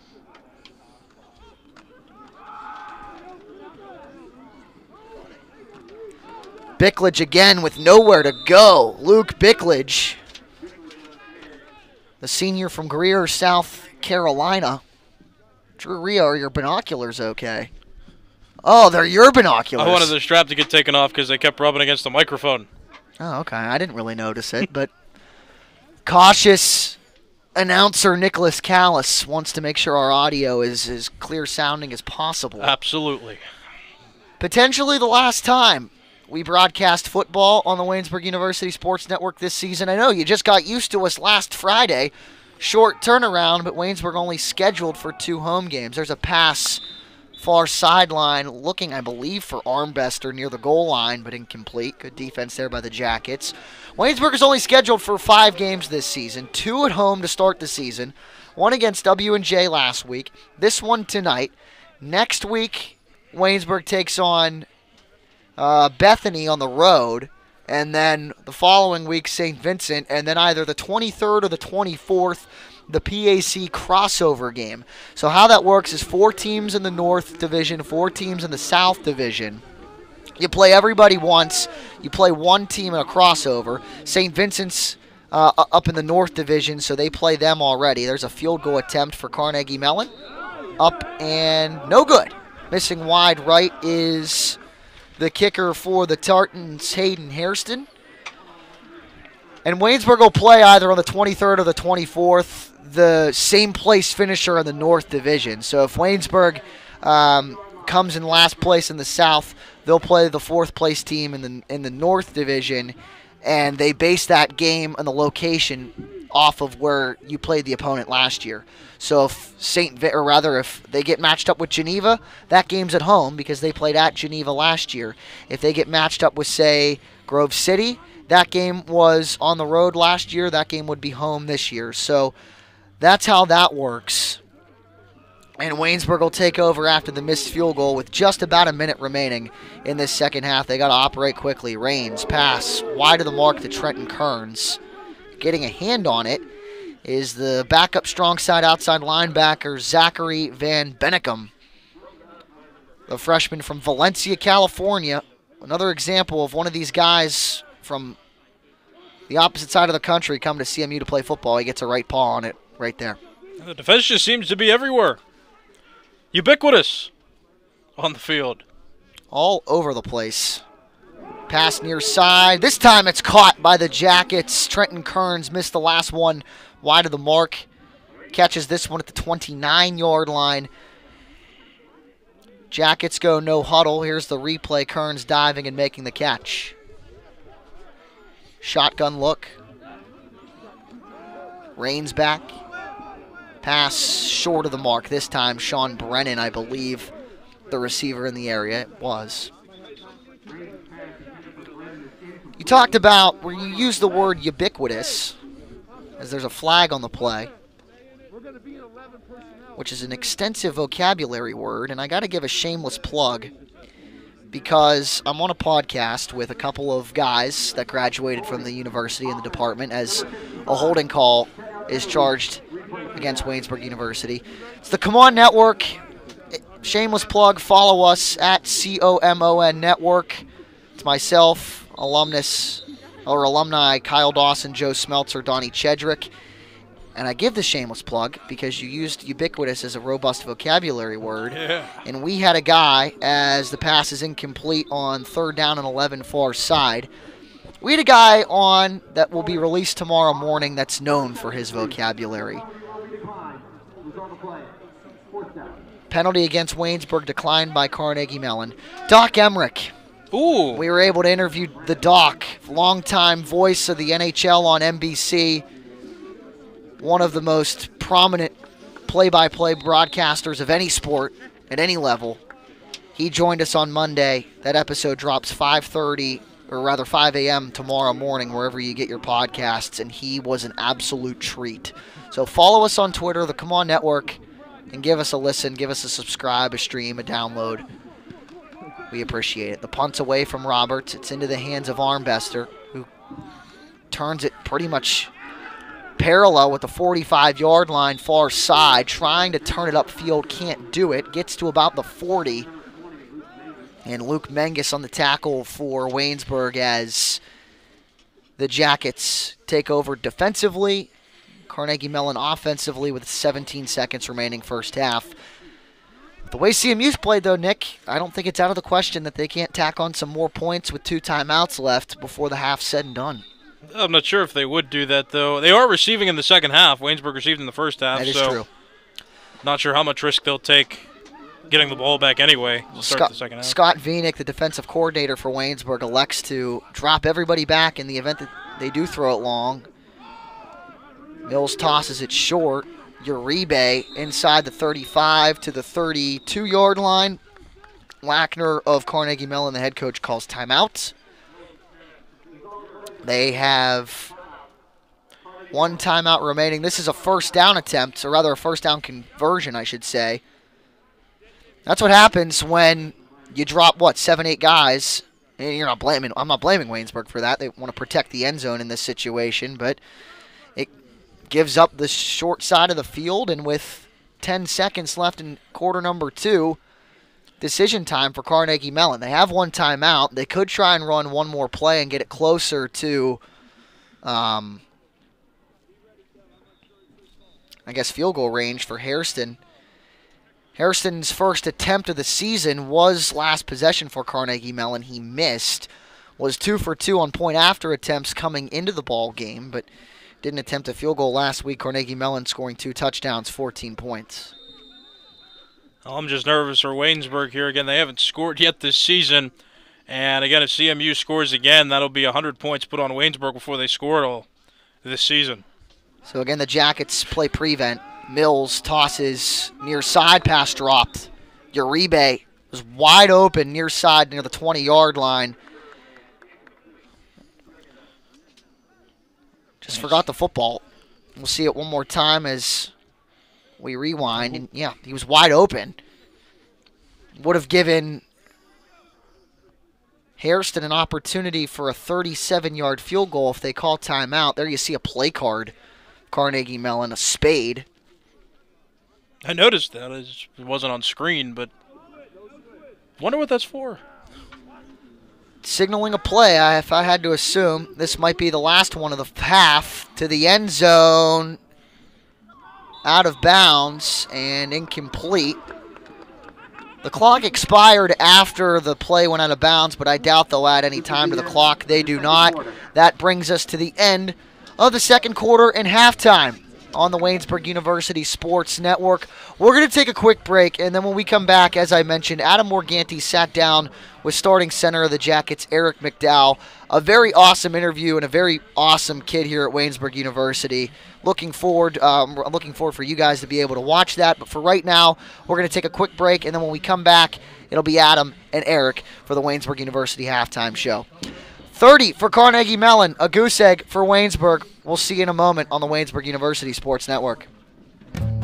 Have you ever been to the Eberly Library? If not, you should, because it's great. They have books of all different genres history, biography, fiction. Try The Evolution of Life, Life of Pi, or Jurassic Park. So, what if books aren't your thing? Try movies like Frozen, or TV shows like Lost. Books and DVDs aren't the only thing, though. Take a trip to the second floor. Welcome to the Writing Center. These tutors will tell you everything you need to know about writing a paper, and they'll help revise your essays. Now let's head back down. Behold, the Knox Learning Center.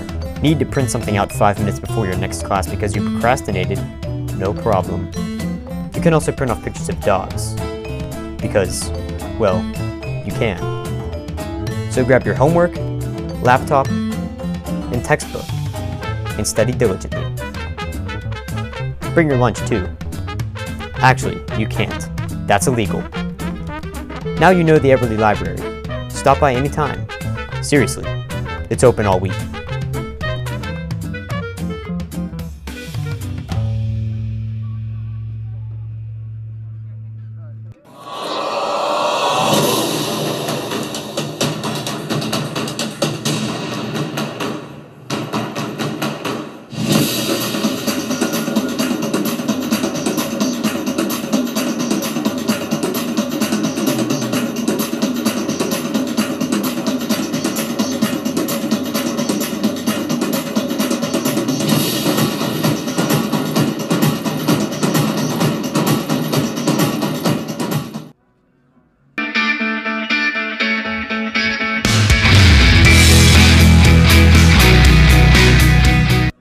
Waynesburg University Sports Network halftime show. I'm Adam Morganti, and joining me for this interview is Eric McDowell. Eric is a senior center on the Waynesburg football team. Eric, thank you for joining me today. The first question I'm, I'm going to ask you you guys had your fir- first game last week against W and J. That was your first game since November 2019. So, what was it like to finally be able to get out there on the field and play football after so much uncertain, uncertainty for this season?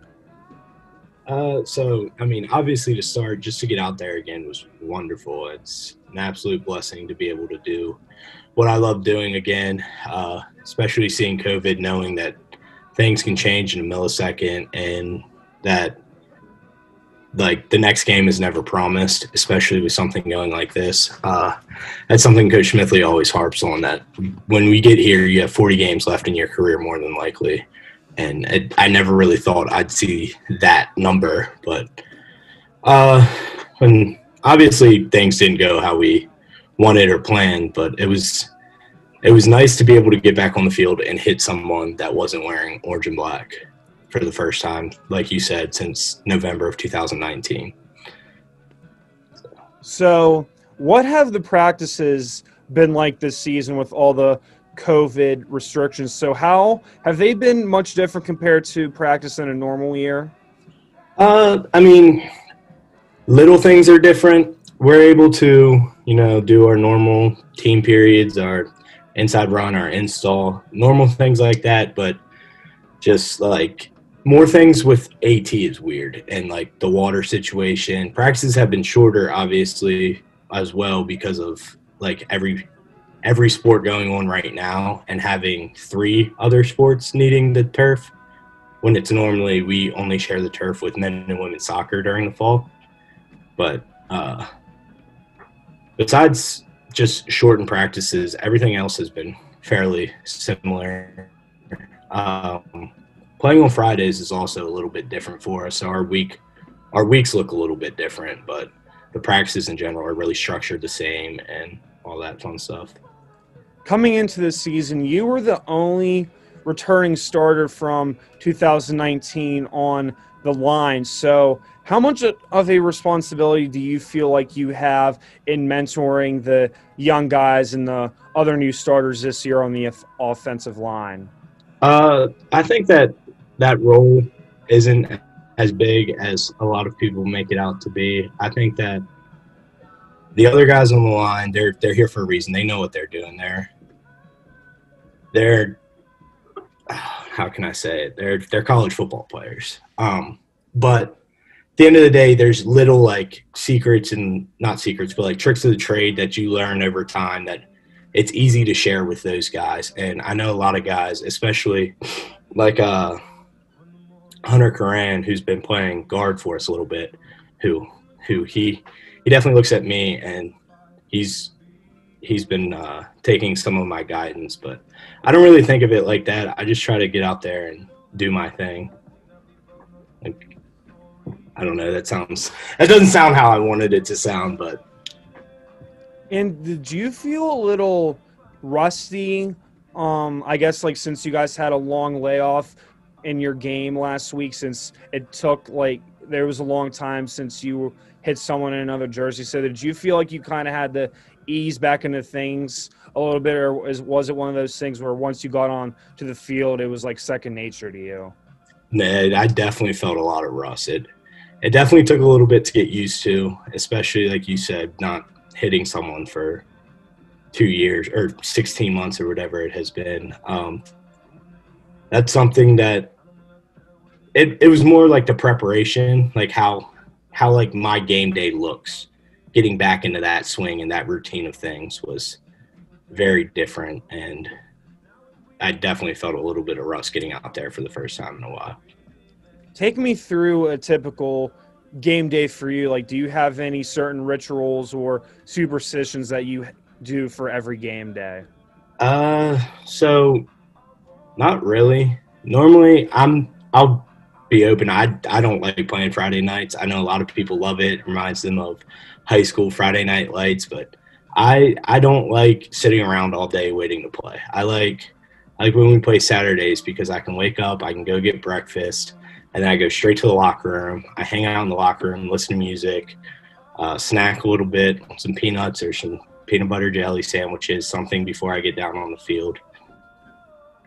It, taped up and all that fun stuff. But I don't really think I have any true pregame rituals or superstitions that I do. I just like a nice routine.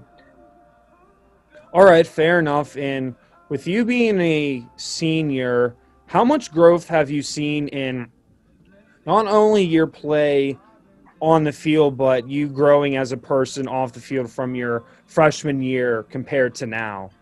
Oh, it's been tremendous. My freshman year, I came in here like like most freshmen do, quiet, you know, nervous, a little bit naive to the fact of a lot of things about college football. But uh, through, over the last couple years, I was fortunate enough to come in and work hard enough to earn a starting spot as a true freshman.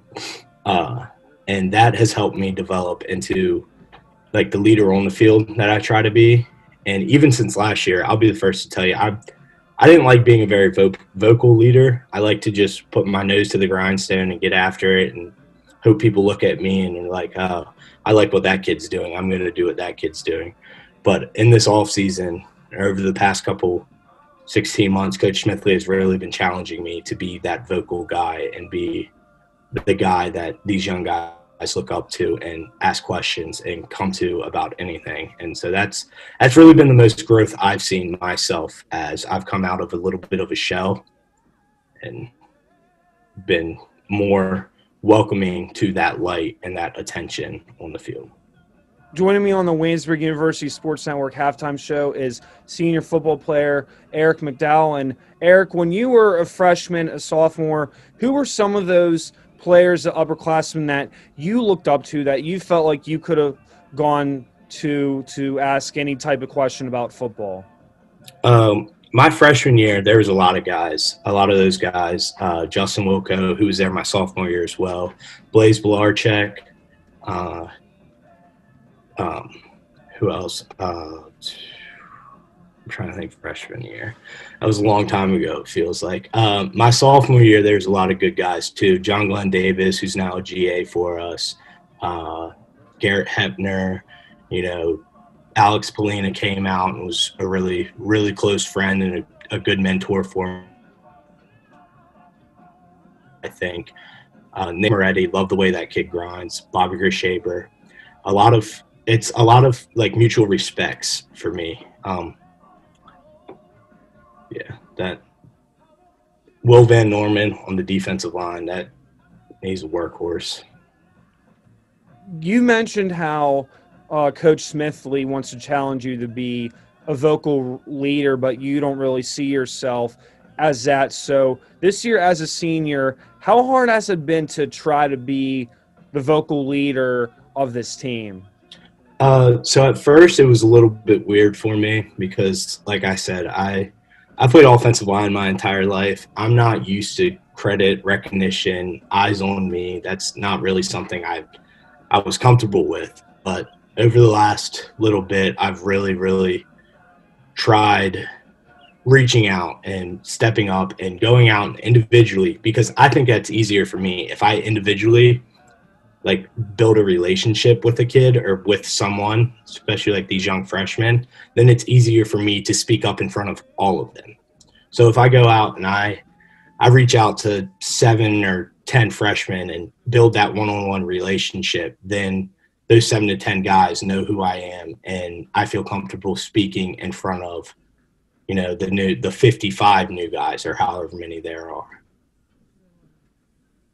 do you feel like you have been able to build some of those one-on-one relationships with some of the underclassmen this year? Yeah, absolutely. I think that uh, I think that even because COVID and everything, there's been a lot of limits on like the the film that we can watch, like how many people can be there, the space outs, uh, workouts, and everything. I feel like that this unit is still really, really close. The full team is pretty close. Um, when it comes to just that bond that we have, especially like with the young guys. I feel like a lot of the older guys all deserve credit for taking a few young guys under their wings and um, like almost exposing them to the older guys, like bringing them out a little bit out of their shell to form that one-on-one relationship with those guys who I've been forming relationships for the last two, three, four years with, and it's easier to build through that. Awesome.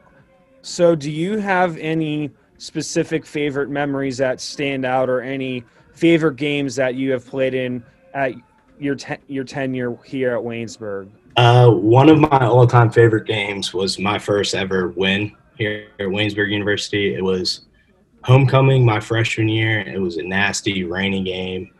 Uh, I think we ran the ball for 284 yards, and we had 287 yards of total offense. We scored like 31 points, and really just dominated the run game. And that's what I love to do. So that game's obviously one of my favorites. I think another one, like just the electric atmosphere of our sophomore year at or against Carnegie Mellon at home when Andrew Brinsick had that pick to seal it at the end of the game. Oh, that was that was a fantastic feeling. Awesome. So, with you being a senior and this being your last season, unfortunately, it's a shortened season. It's not the normal 10 game season. Do you have any personal or uh, team goals for this season? Uh, well, obviously we wanted to go five and zero and win the pack. That can't happen anymore after last week. Uh, personally, um, I, I mean, I'd I'd love to make an all conference nod for the first time ever, but that I don't really care that much about my personal goals. I'd rather go four and one, you know, win out, uh, and just get ready and prepare for the fall. All right, awesome. Thank you. That was Waynesburg Senior Center. Eric McDowell, thank you for the time on this Waynesburg University Sports Network halftime interview. And coming up next shortly is the second half between Carnegie Mellon and Waynesburg. Don't go anywhere as you're don't go anywhere as you're watching the Waynesburg University Sports Network.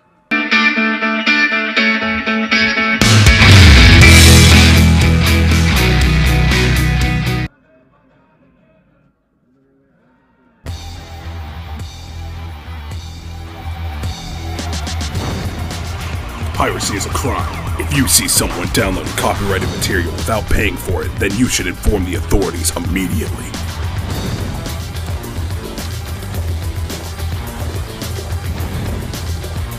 If you download any copyrighted material from the internet without paying for it, then you should go to jail.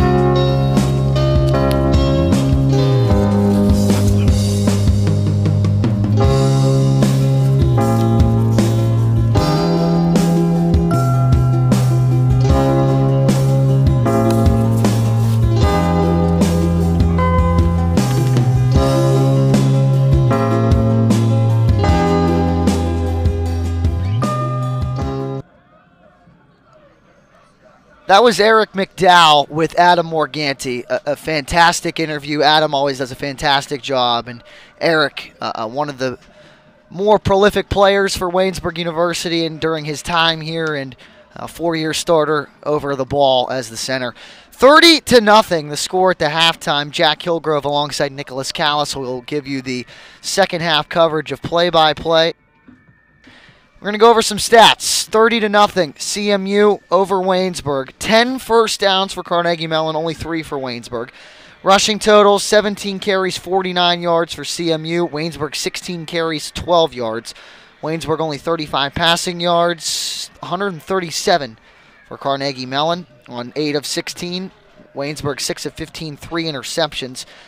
Total plays 33 for Carnegie Mellon, 31 for Waynesburg, 186 yards for CMU, only 47 for Waynesburg. Three turnovers for the Jackets, three interceptions by Tyler Raines, 6 of 15 for 35 yards.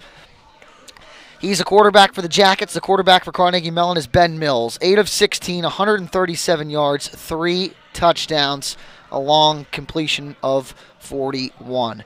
Mike Uribe, the leading receiver for Carnegie Mellon, 3 receptions, 52 yards. Ben Armbruster, 55 yards, 1 touchdown, 2 receptions. And Chris Hughes, 2 catches, 2 touchdowns, 22 yards. Spencer Turling has a catch for 8 yards as well. For the Jackets, receiving wise, Sean Brennan, three catches, 22 yards. Trenton Kearns, two catches for 13 yards. Howie Metzger, one catch, no gain.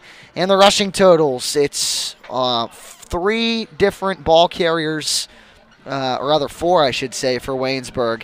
Three carries, negative 10 yards. Those are the sacks for Tyler Raines.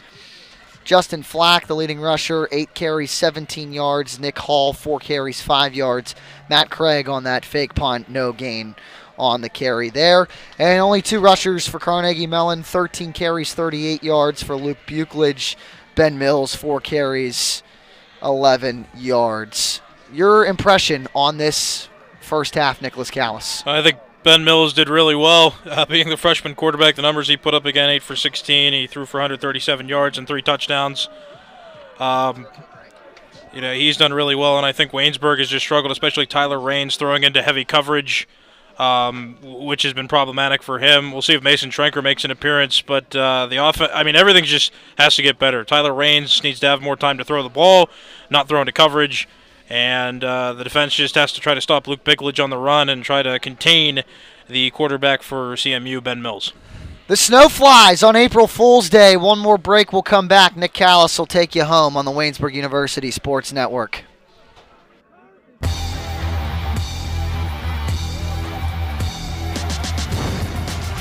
Piracy is a crime. If you see someone downloading copyrighted material without paying for it, then you should inform the authorities immediately.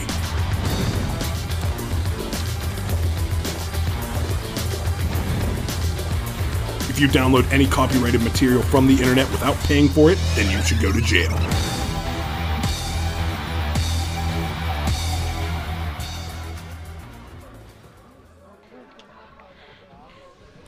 You're watching the Waynesburg University Sports Network. I'm Nicholas Callas, Jack Hillgrove with me. Also up in the booth here, Andrew Rhea running statistics and doing spotting for us. We always appreciate that help. It's 30 degrees right now in Waynesburg, Pennsylvania. The sun completely set, and the temperature not expected to increase with the sun being down and nighttime upon us. Waynesburg losing this game 30 to 0. The second half about to begin.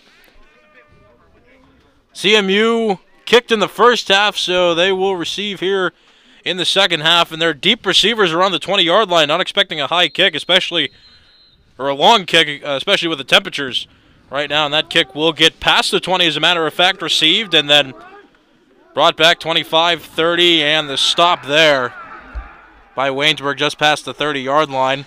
If you're the Jackets here, I, I think you want to try and, you know, obviously it's it's not good to start the season. You're six quarters through your, your season already and being outscored 96 nothing and through the first game and a half.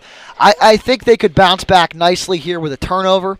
Uh, if, if they can get CMU to maybe fumble or uh, cause an interception or two here, uh, I, I think that would bounce Waynesburg back in the right direction as well. I also wanted to very quickly before this first play. So I was mentioning that Jeremiah Miller, our, our replay operator, was fast forwarding. And I guess the way that I might have stumbled my words, it sounded like I called him fat. Jeremiah, I'm very, very sorry. I didn't. That was not my intention. You're doing a fantastic job. Ben Armbruster got the ball on that last play, and uh, right away a first down achieved by CMU. It was an option to Luke Bickledge, and then Ben Armbruster carried the football. And a first down for Waynesburg, first and 10 from CMU's 45. They're right around midfield. Yeah, Carnegie Mellon the halftime break and the colder weather didn't seem to halt their offense. One play, one first down to start this half. Uh-oh. Mills hands off to Bickledge, and he is He has all the space in the world inside the 10, the 5, and a touchdown. CMU scores two plays into the second half. A, a bit longer than a 50 yard run there for Luke Bickledge, the running back of Carnegie Mellon University. Yeah, that's uh, that's as good as it gets for Carnegie Mellon to start this second half, right? I mean, one play, one first down, a completion, and then uh, an inside zone handoff off of the right side to Bickledge, untouched. I mean, there was not even a defender in the vicinity of Luke Bickledge. A tremendous play call from the sidelines for Carnegie Mellon, and it puts them up 37 to nothing. Jack Kostjo is the holder there, and the kicker Hayden Harrison. So now it's 37 to nothing. Waynesburg trailing CMU, and now Waynesburg this season to start the year. They have been outscored by opponents 104 to zero. Good math. And they've reached the century mark, giving up points before they've scored any. Waynesburg has not scored at all this season, gave up 66 points to W&J without scoring at all. And now they're down 37 and a significant amount of time left in this game. We've just started the second half here at John F. Wiley Stadium. And while we wait for this kickoff to get underway, a scoring update on the other game going on in the President's Athletic Conference today. Two other teams playing. It's Geneva and Washington and Jefferson. A close game. Washington and Jefferson leading 13 to 6 with about 7 minutes 50 seconds left in the third quarter of that game. And not not to pick at your math, bud, but you were a point off, 103. Was I? Yeah. Oh. Because 6 and 7 is 13, carry the 1. 6 and 7 is 13. And you drop the 3, carry the 1. You know what I'm saying? Like 66 plus 37 is 100 and 3. Drat. It Thank happens. you for correcting me. A squib kick coming toward the 15, and it's picked up and fielded. Waynesburg will return toward the far side, and carrier brought down around the 30. It was Howard, Oh, Howie. Metzger. Late hit. Two flags fly at the same time. This is going to be a personal foul. Looked like somebody landed on the back of Howard Metzger. So they'll convene.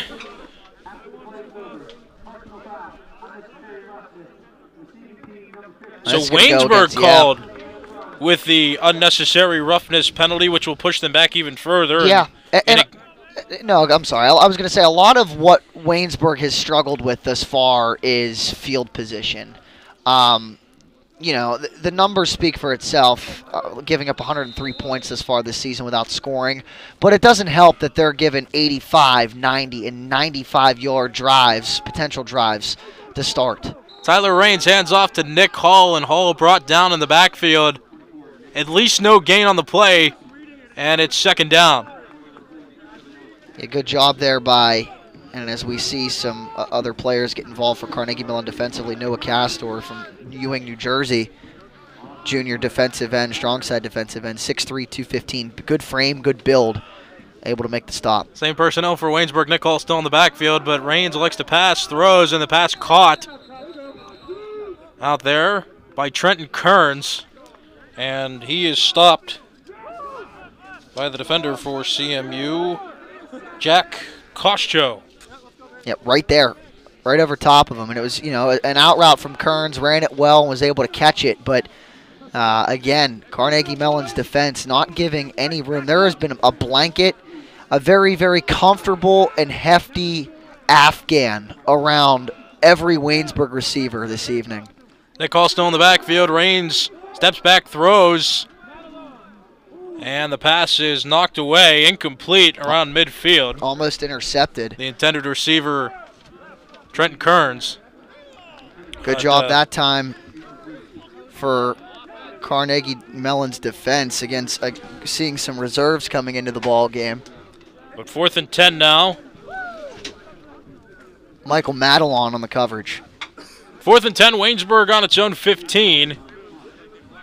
And it seems a punt will get underway. Caden Roberts, the punter for Waynesburg, and back deep for CMU, a couple players. One of which is Chris Hughes, and the other, Ben Armbruster. Punts away. It's not going to get past the 45, and a fair catch called by Ben Armbruster, which will set up CMU in or on Waynesburg's half of the field. First and 10 from Waynesburg's 41 yard line. And we talked about last year, Carnegie Mellon eight wins, three losses, one in the ECAC Bowl and two PAC losses. Um, to a couple of opponents, Grove City and Bethany, both of those games on the road. Last year, Waynesburg in the 10 game slate, 1 and 9. Their only win in homecoming last year against Thiel College. That game, you and I called that game 14 13 final. Waynesburg winning it on a blocked extra point by Tyler Smith. Ben Mills still in the backfield. There's motion by Armbruster, the receiver, and it'll be a pass to Armbruster. He's running toward the 40, gets a nice block, and will gain a few extra yards on that play. Well done by CMU's Zachary Hamilton. Another thing that CMU's doing well too, and you'll see it right here on the replay. Wide open is Armbruster in the flat, but two, three guys getting out in front of Armbruster. You see the offensive lineman pulling over there as well. Ty Splatholtz, the center, as well as the H-back Spencer Turling, getting out in front, hustling, and creating space for guys like Armbruster as they make catches in the flat or on screen passes. Yeah, I made a mistake too. That wasn't uh, that wasn't Zachary Hamilton. That was Spencer Turling, the one who blocked for Armbruster. The ball's free. What'd I say? And it seems that Waynesburg has fallen on it. Yes, the referee's point. Waynesburg has the football back. The football was recovered by Waynesburg's Brandon and Tenku. And Tenko. Yep, There's the replay. Converging on Bickledge. Ball pops out. Oh, hello, football, says Brandon Tanko. Falls right on it. Let's watch it one more time as Jeremiah Miller fast, rather rewinds, I should say. I almost messed it up again. But good ball awareness from Tanko. And I said Waynesburg's got to get the turnover. Keep the spirits up. They do, and they take over offensively. Tyler Raines hands off to Justin Flack, who has some space up the middle. He's brought down by a swarm of CMU players at the bottom of the pile. Skylar Blacker. All right, if I Short had to, second down. If I had to one up myself, I, I set a lofty goal for the Jackets to get a turnover. They did. Next lofty goal coming from Jack Hillgrove, a 20 plus yard run from Justin Flack. Welcome back. Yeah, well, it is Flack still in the backfield next to next to Raines. Fake handoff to Flack and throw, and it's knocked away. Well defended by Mason Tolliver Yeah. of CMU. Inside linebacker playing out in the far side flat, doing a good job. And Oh, I miss I missed it again.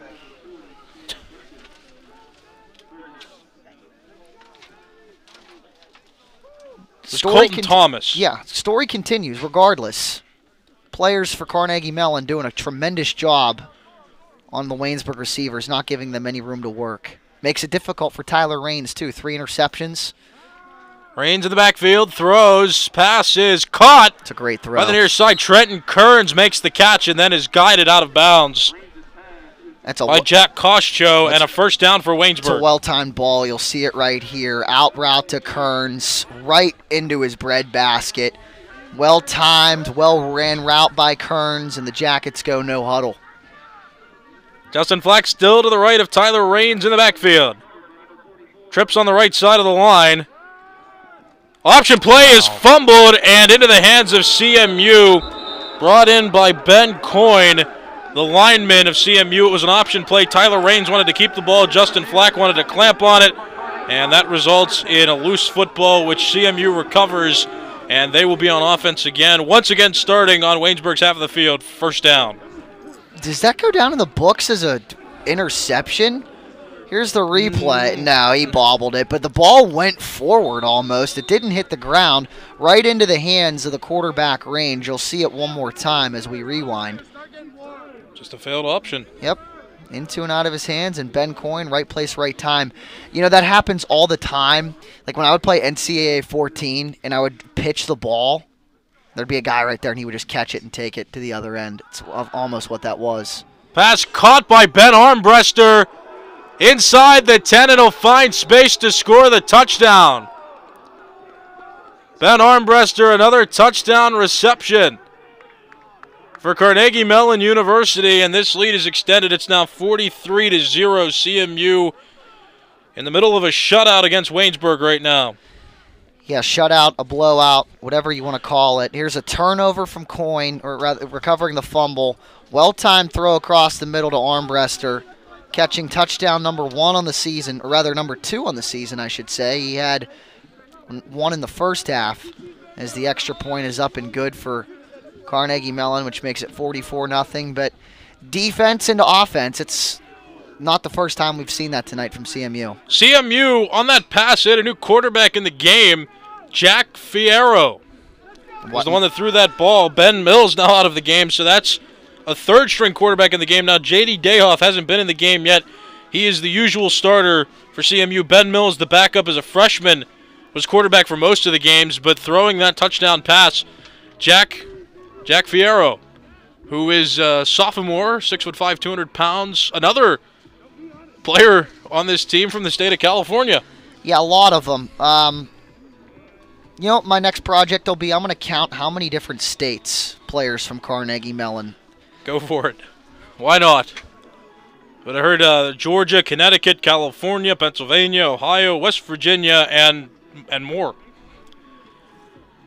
So CMU getting ready to kick off again to Waynesburg. Waynesburg trailing by 44 points. After the extra point was good. Kicker still Hayden Harrison. Excuse me. Hayden, yeah, Hayden Harrison for CMU and back deep to return for Waynesburg. Still Howie Metzger Jr. and Monroe Moeller. 10:47 left in the third quarter. Harrison's kick is rather deep into the hands of Howard Metzger Jr. And he'll take it toward the 25. Still has some space, still on his feet, and he's brought down short of the 30. So Waynesburg with respectable field position to start this drive. Tommy Corey is the one on the tackle for, excuse me, Donald DeCaro. No, no, no. Tommy Corey was the one on the tackle for Carnegie Mellon University. So it's first down and 10. Waynesburg on offense. The ball, official, the ball officially spotted on Waynesburg's 27. And here's the snap. Tyler Raines in the backfield. Screen pass to Nick Hall, but he's brought down quickly. Nick Hall brought down by CMU's Bobby Corey. A loss on the play, second down. All right, quick total. So CMU has two players from Washington D.C., which is not a state, obviously. the it's the district, though? of Columbia. But out of the 50 United States of America, 18 of them are represented on Carnegie Mellon's football roster, Wow, 18 states. and two players from D.C. Raines pass is caught. Brought down around the 25 yard line. Trenton Kearns, the receiver, and on the tackle for CMU. Tommy Corey again. Which there's some talk. Drew Rhea, our spotter, is actually. Let's give him a shameless plug.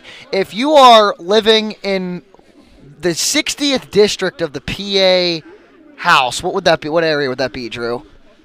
Armstrong, Butler, and Indiana. Andrew Rhea is running for that PA House seat, District 60s, the Libertarian nominee. He is on the ballot, and the special election is May 18th as Waynesburg converts on a first down. Sean Brennan, the one on the catch. It's close to the first down. The first down marker is on Waynesburg's 38. Take a look at the, take a look at the So replay. Waynesburg's going to get 15 extra yards at the end of this play as Brennan makes a tough catch across the middle.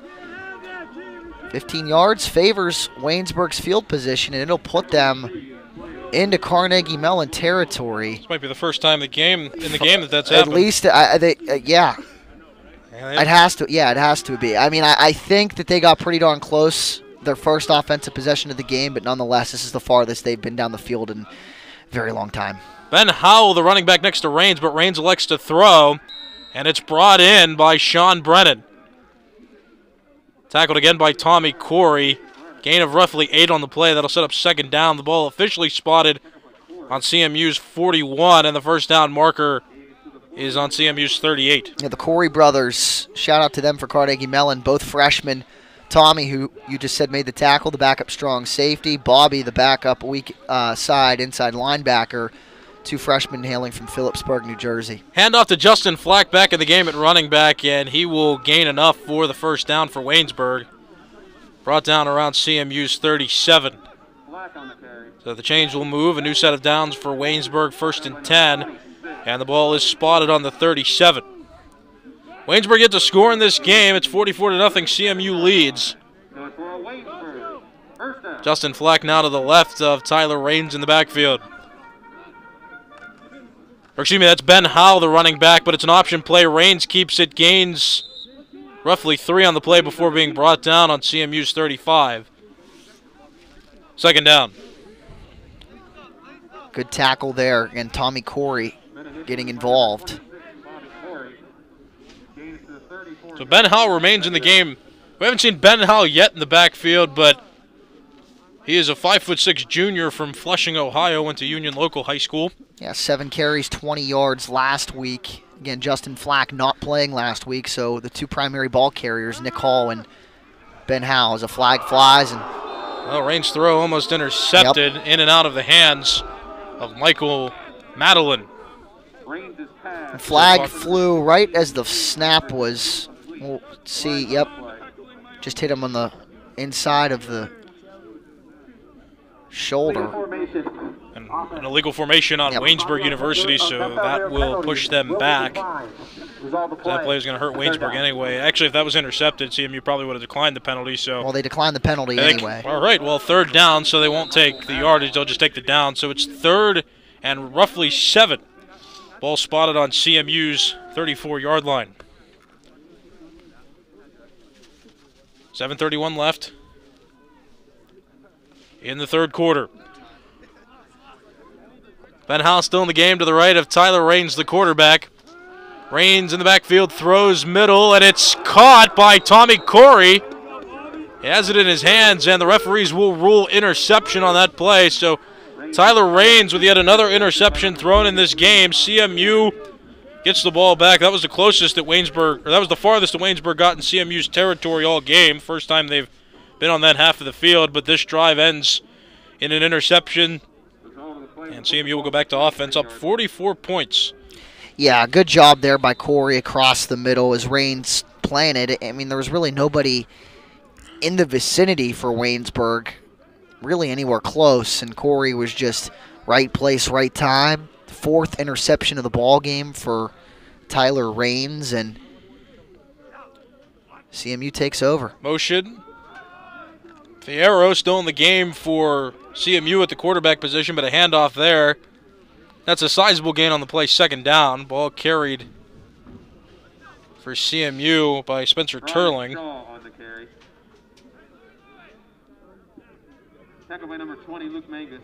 Right, correct myself. That's not Sterling. Oh my goodness. Ryan Shaw on the carry for CMU. Yeah, you're going to see a lot of guys that weren't listed on the two deep for Carnegie Mellon. What 44 nothing in this ball game. Fierro, the quarterback, gets the snap and hands off to Shaw. Being chased, finds some space. That's a first down for CMU and some more as he goes toward midfield. And he's knocked out of bounds right around midfield. So a new set of downs for CMU. It's first and 10. Yeah, you, will see it right here. The CMU sideline getting hyped up on that play right there. A big stiff arm right into the face mask of Luke Menges.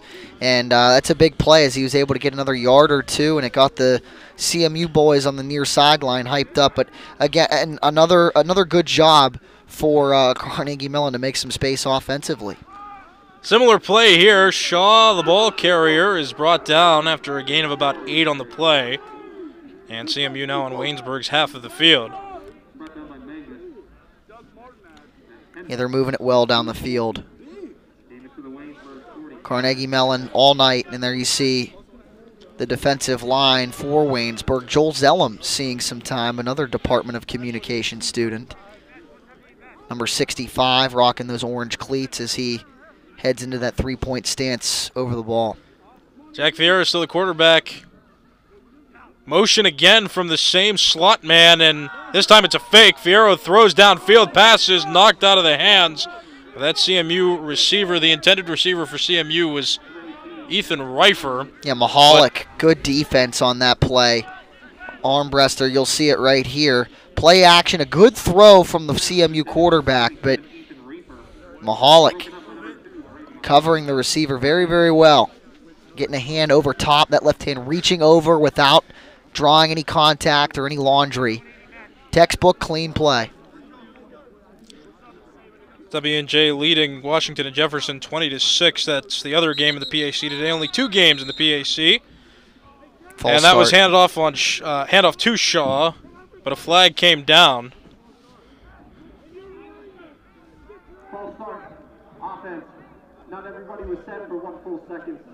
Full start on CMU. Yeah, so that's- them back. And did I? I said Washington leads Jefferson. Yes, Washington and Jefferson Oh goodness. leads Geneva.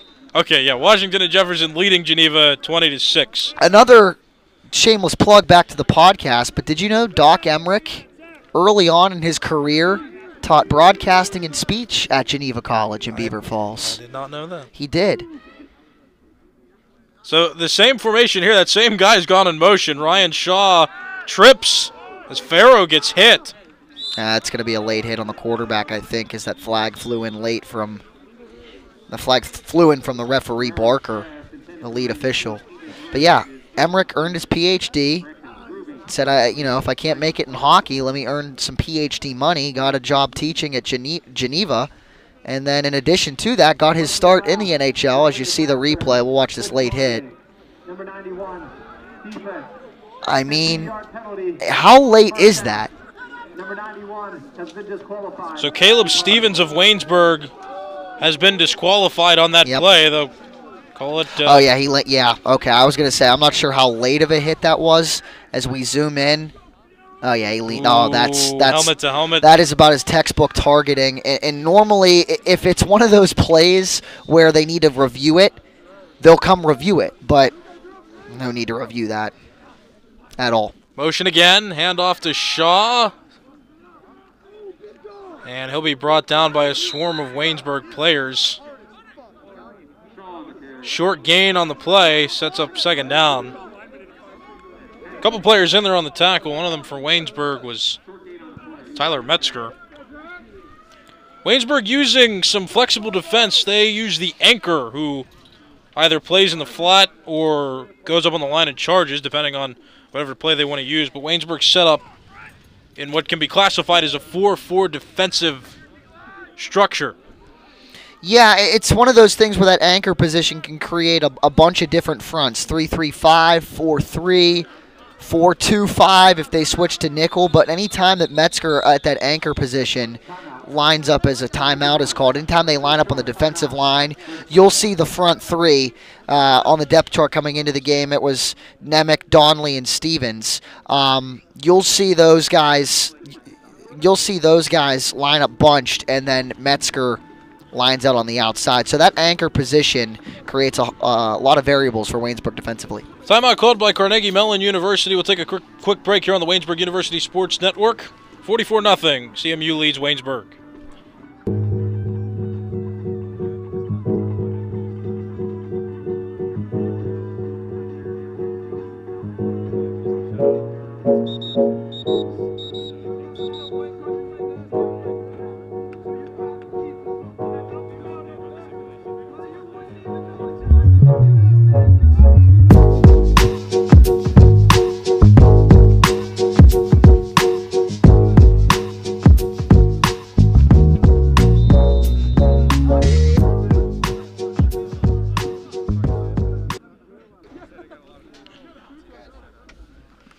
Fierro throws, and the pass is dropped. Ryan Shaw, the intended receiver for CMU. Now ah, I misidentified again. Going too soon. Eric Peterson, the intended receiver, dropped the pass. So it's now third down and about eight. Four minutes, 32 seconds left in the third quarter. It's 44 to nothing. Waynesburg is trailing CMU. Fierro is still in his quarterback, motion by Peterson. And there's the snap, fake handoff. Throw goes downfield. The pass is caught by CMU's receiver, Ethan Reifer. And a new set of downs for CMU as they're inside Waynesburg's 20 now. First and 10. There goes the offense for Carnegie Mellon. still uh, still chugging away. No signs of holding up, and There they go. They're going quickly on offense now. Ryan Shaw still in the backfield. He's behind the quarterback for CMU. Fierro bobbled a bit. Now the fake handoff to Shaw. Fierro gets brought down quickly. Good play. Oh. And Oh. a flag on the play as the tackle was made by Waynesburg's Jarrett Grove. are they going to get Grove for a penalty here? Oh, take a look at the replay, see what could be. It's Fierro, he bobbled it for a second, then Shaw missed the handoff. Oh no, the personal foul against unnecessary roughness against uh, Carnegie Mellon. I was going to say, there's the way that was timed and where the official was that threw the flag. You see uh, the referee throwing the flag right next to the tackle. I thought maybe that that was going to go against Grove, and uh, it didn't. And a, a little bit of timeout here for injury as Carnegie Mellon brings a player to the sideline. It looks like. Is that Hughes, the receiver? The player seems okay. By the way, there's CMU resets. A new quarterback is into the game for CMU. Taking the position. I'll tell you in a minute. Is that handoff there? Ryan Shaw on the carry. He's brought down. But it's not Mills. And it's not Dayhoff. I see number nine. But no rostered players, number nine. Replay comes up. Ryan Shaw look barreling through Jarrett Grove. Gain a few extra yards. Watch it there. Jarrett Grove's number 39. Just kind of ran him over a bit while being tackled from behind. But CMU third and goal from Waynesburg's 15. Motion, handoff. Again, Shaw on the carry. He's brought down inside the 10. Well, you know, that's interesting. So it's not Dayhoff because Dayhoff is number 12, obviously. We've already seen number 15, Ben Mills. Jack Fierro, we just saw, was number 18. This quarterback, number 9, process of elimination, as you see him on the pump fake there. The only other listed quarterback on the roster that we haven't seen is Kyle Robertson, who's listed on this roster as number 14. So that would almost have to be, yeah, there you see number 9. We don't have a number 9 on this roster for Carnegie Mellon. We'll go with Robertson. We're going to go Robertson. with Robertson. Sophomore from And a. Aliso Viejo, California. Timeout called by Waynesburg. So, not much to recap in terms of scoring in this game. The score is 44 to nothing. A combination, combination of punts, interceptions, turnovers have uh, hurt Waynesburg. We'll take a quick break here on the Waynesburg University Sports Network. I'm Nicholas Callas, Jack Hillgrove here. The score is 44 to nothing. We'll see you after the break.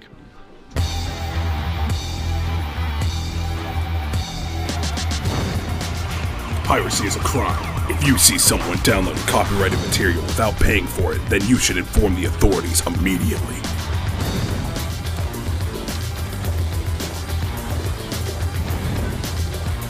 If you download any copyrighted material from the internet without paying for it, then you should go to jail.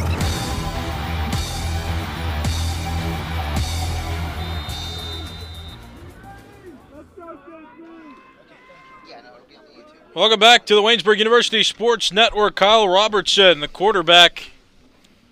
Motion, CMU's going to go for it. A handoff to Shaw, but he's brought down rather quickly, so that'll be a turnover on downs for CMU. It was fourth and goal on that play. Now Waynesburg back on offense. A good job here of the Waynesburg defense. You see them converge right to where the hole was as soon as the handoff was made. A good job there for the defensive front for Waynesburg, but uh, you know the the slipperiness of the ball carrier there for CMU gets away, and Brett Hicks awaits. There's not like the, the the assignments that are need to be made for Waynesburg right now on these run plays are being made, and the gaps are being kept in check, and they've really done that all evening in the run game, except for uh, that one run by Bickledge as we have a quarterback change. Double back set for Waynesburg. Mason Schrenker fakes the handoff and throws to Matt Craig, who gets taken down. The ball likely to be spotted around the 10. Forward progress on that play, but Matt Craig on the reception.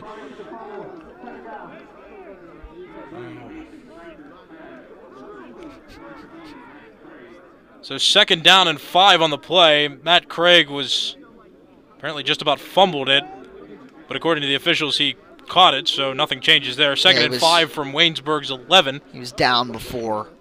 Um, Still any fumble could have been made. Still a double back set. Nick Hall and Justin Flack in the backfield. Schrenker fakes to Flack now, pitches out to Nick Hall, who is wrapped up quickly and brought down. The first player for CMU to make that tackle was Michael Madeline.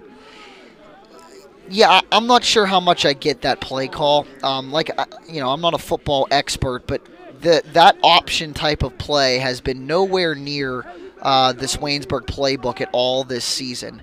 And you know, th- there's nothing that really Schrenker uh, could have made a better read. I mean, they just Carnegie Mellon converged, and they were there, and uh, there was no way that you know if Schrenker keeps or elects to pitch that it uh, it, it goes in either way. Good job defensively for uh, the Carnegie Mellon Tartans. Now only one back, three receivers to the left side of the line. Pass play, Schrenker finds pressure. He runs back into the end zone, finds time, throws downfield. The pass is way over the head of Howie Metzger, the intended receiver. So incomplete pass. And now it's fourth down and 10. So Waynesburg continuing to struggle offensively. No score or no amount of points on Waynesburg's point total right now. CMU at 44 points. 44 nothing's to score. Waynesburg hasn't scored in their first two games of the season up to this point. They got shut out 66 to nothing by Washington at Jefferson College. Now losing to Carnegie Mellon University. Caden Roberts to punt for Waynesburg and a couple new return players back to anticipate the punt return. There it's taken around the 40 and the 45.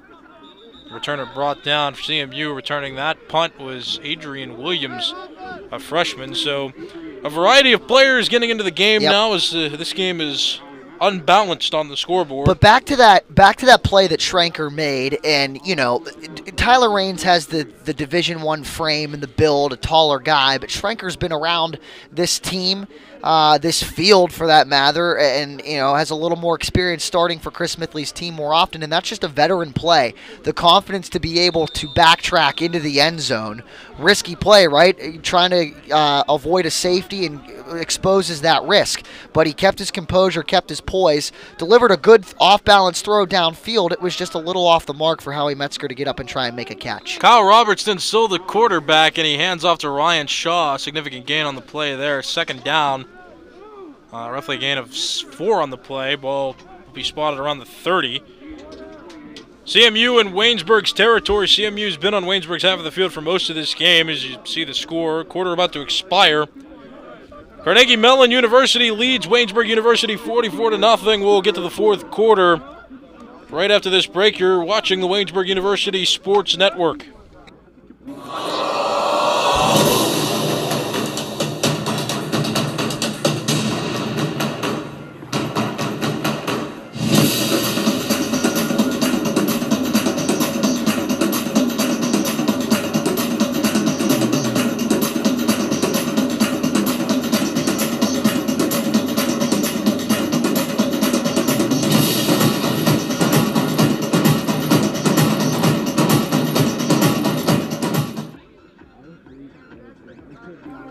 A Saturday night. You know what that means. Time to party.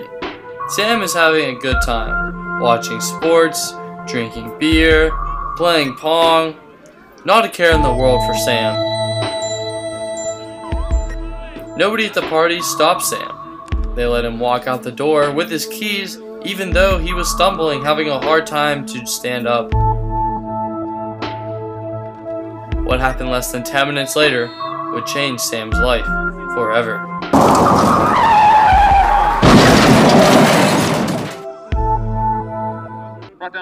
Welcome back to the Waynesburg University Sports Network. I'm Nicholas Callas. Jack Hillgrove with me here. Waynesburg trailing by a large amount. First play of the fourth quarter was a Kyle Robertson handoff to Ryan Shaw. So now it's third down, roughly two to go for the first down. CMU well into Waynesburg's territory. Another handoff to Shaw. Finds space, makes a move, gains some open space, hurdles, and he's brought down around the 20 yard line. That's good enough for a first down for CMU. Around Waynesburg's red zone now. Four minutes, 15 seconds left. I really in the fourth like quarter. I really like the play, and you see him on your screen there of Braden Mahalik, uh, listed on the depth chart as the backup cornerback to Vinny San Martino, the senior from uh, St. Clairsville, Ohio. But he's been a very, very good player this evening. You saw him converge on the tackle there, and he's uh, been a good player in, in pass coverage as well, putting blankets on these CMU receivers when he's given the opportunity. Kyle Robertson again, a handoff to Ryan Shaw, finds space, and he's brought down. First player there for Waynesburg was Luke Mengus. Gain of roughly five on the play, sets up second down. Check this out, though. Just good space. Good job by the offensive line to create that hole, and Ryan Shaw does well. Staying on his feet, just fighting and gaining yards. He almost saw the, the strip from the Waynesburg defender there, trying to force a fumble, but just couldn't do it. Good job. Carnegie Mellon able to hold on to the football. Now another halfback into the game for CMU. It's Zachary Hamilton, a sophomore on this CMU team. Motioned by Peterson, number 89, and now a handoff up the middle. It'll be close to the first down as the ball crosses the 10, and Number 30. running back brought down around the 5. Brought down by number But yeah, 44, Zachary Hamilton on the carry again. Just under 13 minutes left in the fourth quarter. the six-yard line. First down.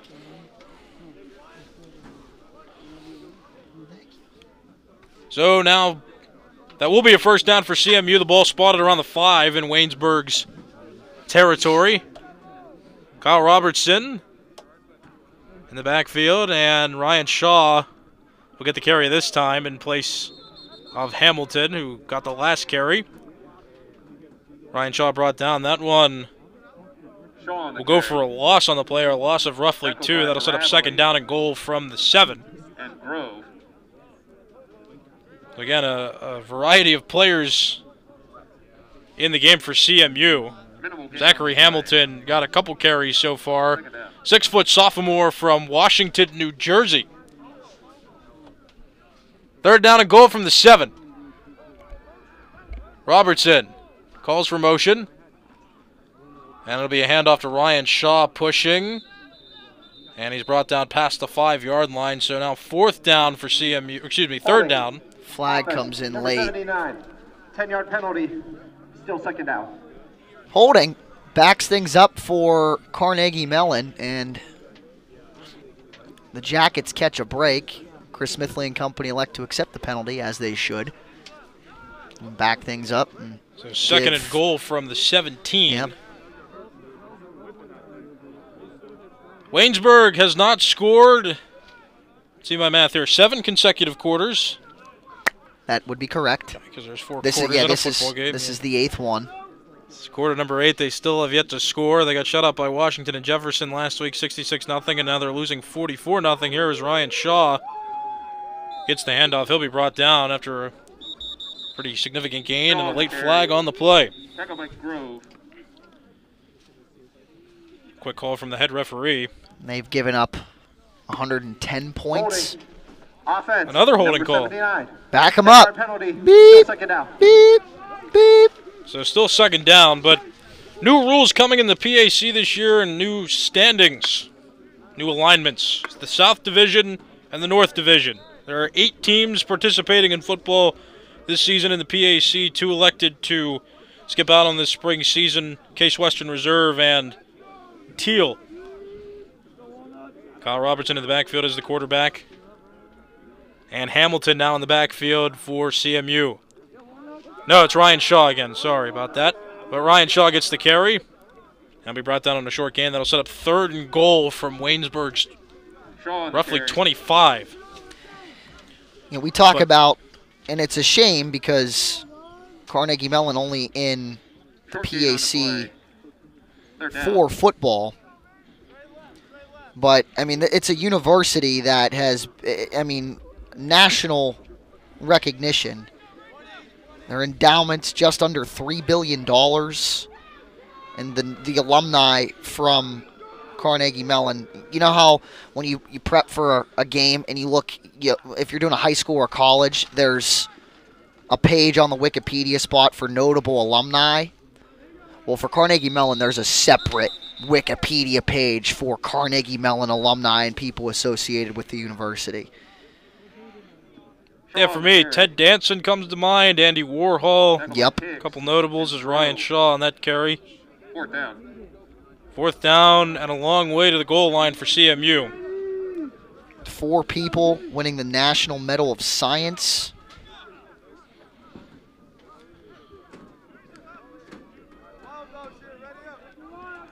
Kyle Robertson still in the game as quarterback. The third quarterback we've seen playing in this game, J.D. Dayhoff, the typical starter, has not played a down or a snap in this game. Ryan Shaw with the carry again. CMU just went for it. No field goal attempted there, so they will turn the ball over on downs. First down for Waynesburg inside its own 15. But back to the PAC alignments. Right now, Waynesburg is in the South Division with St. Vincent, Washington, and Jefferson and Bethany. Waynesburg right now tied with Bethany, 0-1 records in the PAC. This game you're watching right now was scheduled to be played on March the 19th. Every team had a had a non-divisional game as their first game, and then their next three were supposed to be against their divisional opponents. But this game got postponed because of COVID complications. So Waynesburg played Washington and Jefferson in its first game of the season last Friday, March the 26th, and now they're playing in game two. So this game won't count toward any PAC records, so to speak. It won't count toward their divisional record, but it will count against their overall. Run there by Waynesburg. 35, Ben Howell on the carry. But a flag on the play, holding on the offense. It was Ben Howell on the carry, but that carry will turn void as the holding penalty will march Waynesburg back. Since they're within their own 20, the Yellow Jackets will go half the distance to the goal, so that'll put the ball at, the, at Waynesburg's 5. First and 15 now. Back to the famous alumni for Carnegie Mellon. Their most impressive and their most famous of people fall under the category on this Howell on Wikipedia carry. page of like acting or in fine like arts. Um, Ethan Hawke was briefly at Carnegie Mellon. Um, Joe Manganiello, a Pittsburgh native, actor on True Blood, Also on the carry. Also on the big time Steelers fan, native of Mount Lebanon, Pennsylvania. Leslie Odom, starring in the Broadway musical Hamilton. He's also appearing and has a large role in the Many Saints of Newark, which is a Sopranos prequel movie, which comes out this fall on HBO Max, and I believe it's going to theaters as well. Hand off to Howell by Mason Schranker, and he'll be brought down quickly by a swarm of Carnegie Mellon University defenders. That has me fired up too, by the way. If you have some any free time in the next couple weeks, do you have HBO Max? No. Oh. I would invest and I would binge watch The Sopranos.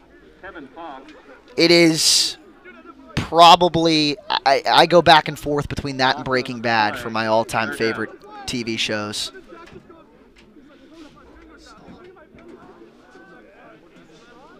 The CMU set up. They've got a new defensive formation. They've got a looks like a 4-3 now, but four rushers against the five Waynesburg offensive linemen. Mason Schranker still playing quarterback with Ben Howell to his right. Pass play, long pass downfield, and it's over the head of the intended receiver, Brendan Tavarich. Shrinker's pass intended for Brendan Tavares. And that'll set up now a fourth down. And roughly 14 for the first down. The ball spotted on Waynesburg's 9, and the first down marker is at the 23 yard line. Yeah, Waynesburg, or rather Brendan Tavarich, relatively quiet today. Um, emerged late last year as one of the top receivers for the Jackets. Last week, three catches for 44 yards. The it- timeout called by Yeah, go ahead. Waynesburg. Sorry. Riley Holsinger's telling us to go to a break, so we should probably go to a break. This is the Waynesburg University Sports Network. Waynesburg lead, or losing 44 to nothing in this football game. We'll be back. We're gonna fade up to uh, camera three in five, four, three, two, one. Take it.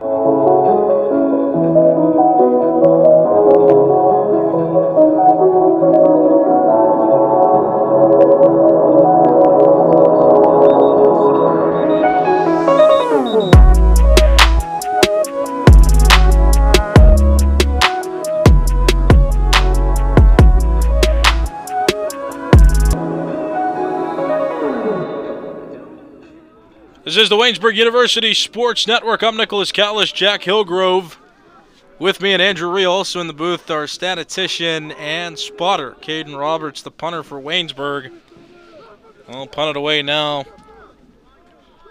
Gonna go to CMU. Oh ah, boy. Well, that punt started in Wayne. The the punt return started in Waynesburg's half of the field, and the return man for CMU, Adrian Williams. This punt and Jeremiah Miller's running replay. replays, a big Penn State fan. This return reminds me of the KJ Hamler punt return in the Pitt Penn State game in 20 what would that have been 2018 at Heinz Field when it was just a low line drive up near midfield Hamler caught it and ran straight to the end zone untouched it wasn't that quite Oh, see now Jeremiah's. I thought it was Hamler. It was DeAndre Thompkins, but he's the Penn State fan, and I was the Pitt fan. Incredibly uninterested into that 56. Was it 50? Uh, what was it? 56-10. Oh, 56-6. 51-6. See, I don't even remember. Kyle Robertson still the quarterback for CMU. Ryan Shaw. Well, it's not Ryan Shaw. I saw the two, but there's a one next to that two. Number 21, Trey Vassilitis Trey on the carry. Vassilitis Brought down by Mangus. is the one on the carry. So another halfback into the game. So we've seen 11 yard line. a few halfbacks as well. Luke Bickledge, Ryan Shaw, Zach Zachary Hamilton. Hey man, kudos And now- to you. Yeah, and now uh now Trey Vassilite. Oh man, Vassil- I was gonna, Vassilitis. I was gonna give you credit. I thought you looked up at the roster and nailed the pronunciation without No. looking at the key, but Nope. you cheated and looked I at the did key. cheat. That's okay. But Vassilitis on once again Tackled by Hicks. on the carry. So they're within goal line range right now. Second down and goal is the situation for CMU after that carry. They're within the five on Waynesburg's side of the field. I correct myself. It's actually first down. Handoff once again to Vassilitis. Vassilitis Another touchdown for the Carnegie Mellon CMU. The score is now 50 to nothing. I mean, good moves there. Found the hole, pushed through a little bit. You need that extra strength as a running back to push through some defenders. And Yeah, that's a good block on the uh, linebacker Brett Hicks for Carnegie Mellon. I believe that was Hunter Campbell, freshman center from Downers Grove, Illinois, on the block. Just pinned Hicks down and was able to free up for a touchdown. well, and Brett Hicks is the one. Brett Hicks is the one who's on the ground right now for Waynesburg. He's down on an injury, being aided by a couple of the training staff members. I mean, But it looked like, yeah, let's watch this replay one more time. Hicks coming from the left side of your screen and then in. Right there, 25. It, ooh, I think what happened was Zach Zaransky, the 6'2", 250 pound junior center into the game, as he was blocked down from up top. And there you see he's up under with some help from Andy Palco and the training staff and Eric McDowell not putting any, yeah, that's exactly what happened. Not putting any weight on that left leg. Um, Zaransky just kind of caught underneath and it was an incidental high-low. So Hicks is aided off the field. Hopefully, uh, that injury is not too serious for him. Brett Hicks, as we mentioned, we talked about him earlier in the broadcast, has been a key part in the middle of that defense. He's a junior and, and has been a key part of the middle of that linebacking core since his freshman year, uh, the junior out of Chartiers Valley. Um, and, you know, an injury like that isn't something that you want to see uh, in a game that's 50 to nothing going the other way. So hopefully, for Waynesburg and Brett Hicks' sake, he's okay. Hayden Hairston. Despite all the changes CMU has had in this game, they've kept their kicker consistent. Hayden Hairston puts up point. and makes another extra point. That makes the score 51 to 0. Six minutes, 20 seconds left in the fourth quarter. And uh, Jack was talking about some HBO shows, The Sopranos, he recommends. But let's talk about some of the shows that WCTV has. Sure. The Nerd Alert. Yeah. Great, great show. Got to watch that. Uh, hey Riley, when does that uh, when does that show premiere? Let me know if you know. Uh, Yep, An episode there's premiered a couple yep. weeks ago. They just talk about uh, some shows and movies and other things that are going around that uh, that you should be aware of. We also got Jacket Sports Weekly, where, or actually it's not bi-weekly because it happens every two weeks now, but uh, check that out to get recaps on all Waynesburg sports. Uh, right now, the top sports going on tennis, uh, men's and women's tennis, men's and women's track and field, softball, baseball, football. That's what you're watching right now. Check out that show, the newscast. Get an update on everything going around in the world and around Waynesburg and Waynesburg University's campus. That usually gets to YouTube on Wednesdays at some point. Got a variety of shows on WCTV, and we're working to get it back on cable and with our new high definition equipment. Equipment. And right now, you're watching Waynesburg University Sports Network in high definition. Last week was our first high definition broadcast with all of our new equipment. This is our second. But WCTV and other Waynesburg Department of Communication assets are moving to high definition. That ball kicked off by Hairston and brought in around the 20 by Waynesburg. The return coming now by Howie Metzger. He trips a bit, crosses the 30, and he's knocked out of bounds. So, uh, decent return there for Waynesburg to start this drive, but they're down by 51. They have not scored yet this season. That's that's pretty big. And one of the more impressive things in uh, that I've seen this university been able to put together, and they did it so quickly. I mean, I remember looking at the initial announcement on Twitter of the new video board, and within 48 hours, it was built, and it is awesome. And I wasn't able to be here last week. There, you see it on your screen. I wasn't able to be here last week, due to some quarantine complications, but that thing is awesome, and it's the first time I've seen it tonight in action, and it has been uh, a, a tremendous addition for us to be able to utilize that with the Department of Communication as Mason Schrenker fumbles the snap and is tackled but not only for us, for the athletics department. I mean, you know, I when the funding was uh, given to this scoreboard, and I'll continue talking after you watch Mason Schrenker. Good reaction, able to see it quickly that it was a high snap, and again, uh, Schrenker able to fall on it and keep it. But I wrote the original article on the video board when it was announced that it was going to be funded and done. And uh, athletic director Adam Jack said, you know, this is going to breach out far beyond athletics. Um, Post COVID, they plan to do movie nights uh, put a movie up on the screen and invite kids to lay out on the turf and watch it, uh, which is a pretty cool concept, as well as you know sc- uh, scout groups and things of that nature to be able to come. Not only is it good for Waynesburg athletics, but good for the community as a whole. And uh, Nathan Grella, a sophomore sports information student, has been working heavily involved, and Alan uh, Miller of IT Services has been uh, coordinating this whole thing, and they're using our replays. That replay that you just saw was up on the board, and um, it's a it's a really cool addition to see uh, for Waynesburg University, and also Adam Jack said too, maybe someday, a couple years down the road, video board like this could be implemented in the Rudy Marisa Fieldhouse. Mason Schrenker in the backfield for Waynesburg.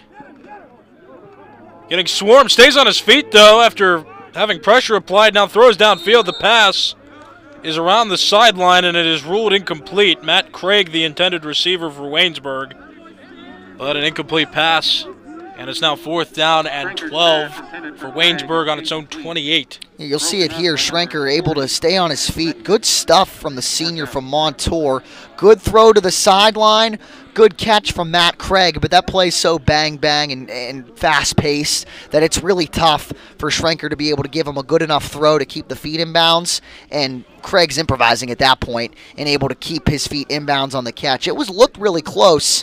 Um, from that angle, you can't really tell if he got the foot, and he might have.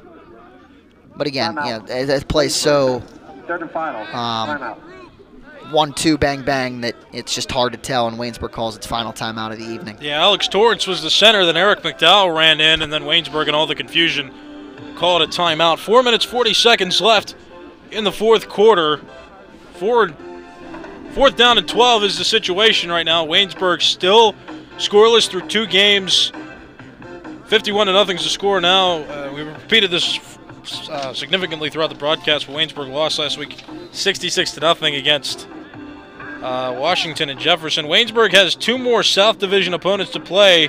St. Vincent and Bethany are the two teams. Bethany is winless this season. They're 0-1 in division, 0-2.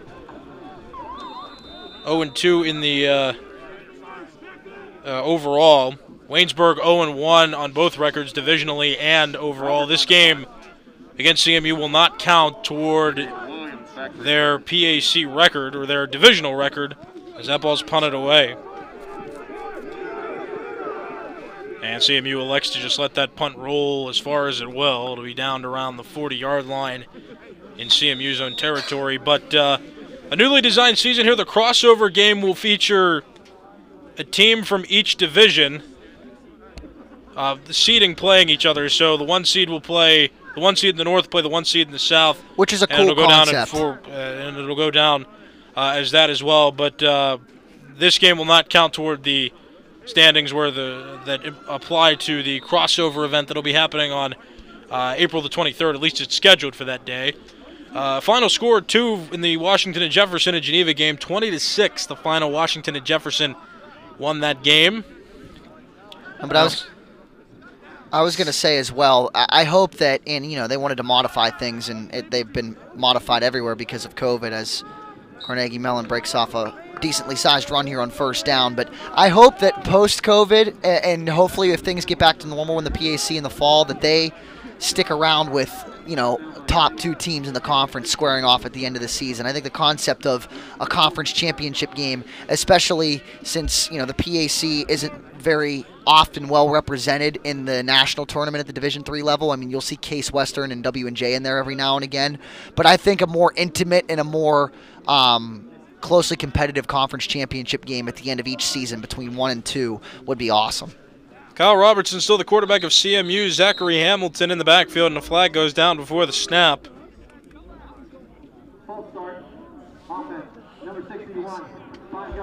So again, we, so offsides, or excuse me, false start on CMU.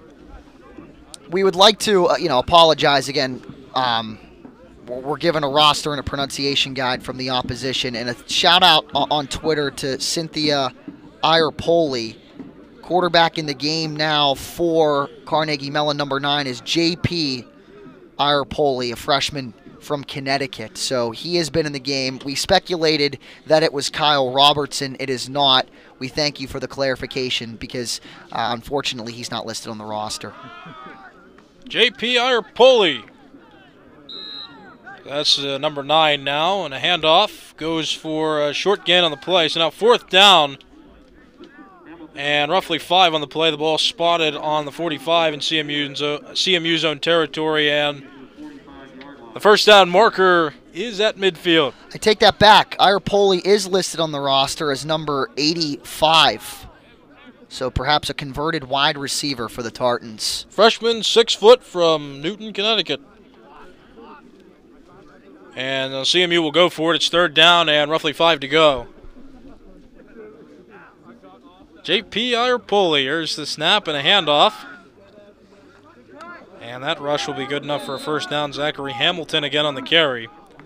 And a new set of downs coming again to CMU. Just about 2 minutes, 20 seconds left. In regulation of this game, scores 51 to 0. CMU leads Waynesburg. And Waynesburg's about to go two straight games without scoring any points. The offense has struggled uh, frequent amount of interceptions thrown by Tyler Raines in this game. Mason Schrenker has gotten some time here at the end. So not a good look for Waynesburg right now. For CMU, though, several players have gotten into the game and played well. Ben Mills, one of the top players for CMU in this game. He started at quarterback, gave J.D. Dayhoff the day off as that ball is kneeled. But Ben Mills, a freshman who played well in this game, rushed for a few good uh, Good runs. Threw a couple passes, too, for touchdowns. Just played well for a guy who's a freshman, and J.D. Dayhoff's a senior, so once he graduates, Ben Mills very well might be the starting quarterback of this team. So a minute 20 left in this fourth quarter of play, and it seems that CMU is just going to kneel out the clock. Yeah. And JP Ierpoli, the one still at quarterback. And give them the credit. I mean, they came out to play.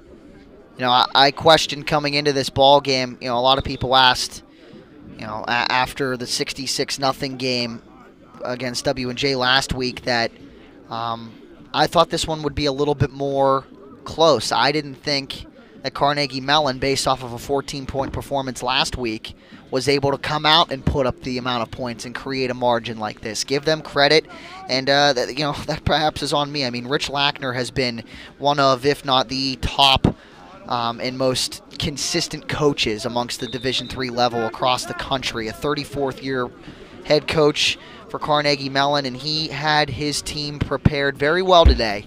Come out and score 51 points against these Waynesburg Yellow Jackets.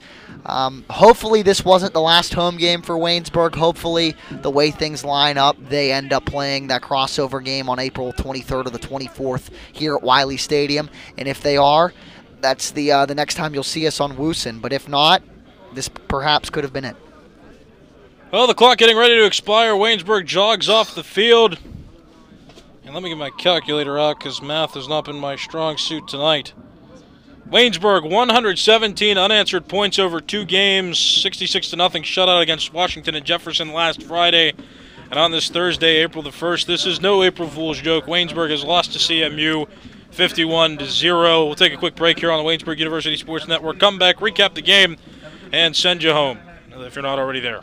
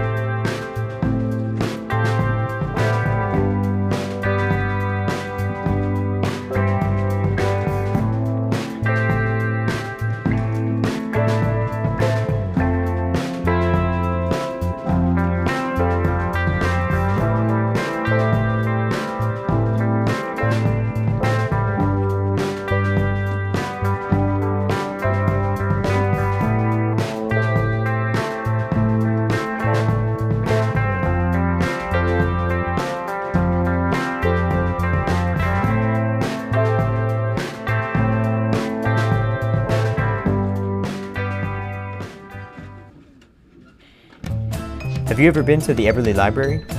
If not, you should, because it's great. They have books of all different genres history, biography, fiction. Try The Evolution of Life, Life of Pi, or Jurassic Park. So, what if books aren't your thing? Try movies like Frozen, or TV shows like Lost. Books and DVDs aren't the only thing, though. Take a trip to the second floor. Welcome to the Writing Center. These tutors will tell you everything you need to know about writing a paper, and they'll help your essays. Now let's head back down. Behold, the Knox Learning Center.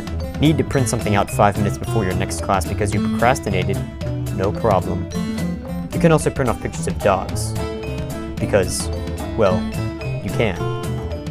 So grab your homework, laptop, and textbook, and study diligently. Bring your lunch too. Actually, you can't. That's illegal. Now you know the Eberly Library. Stop by anytime. Seriously, it's open all week.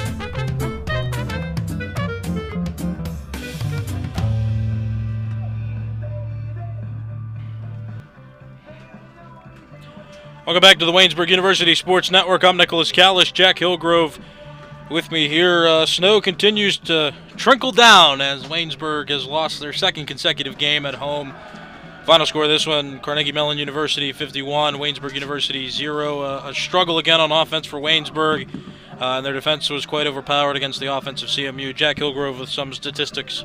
Yeah, it's all Carnegie Mellon. Um, 228 rushing yards. Waynesburg had a whopping five rushing yards on the ground. Uh, 5.2 yards a carry for Carnegie Mellon this evening. How about 0.2 for Waynesburg?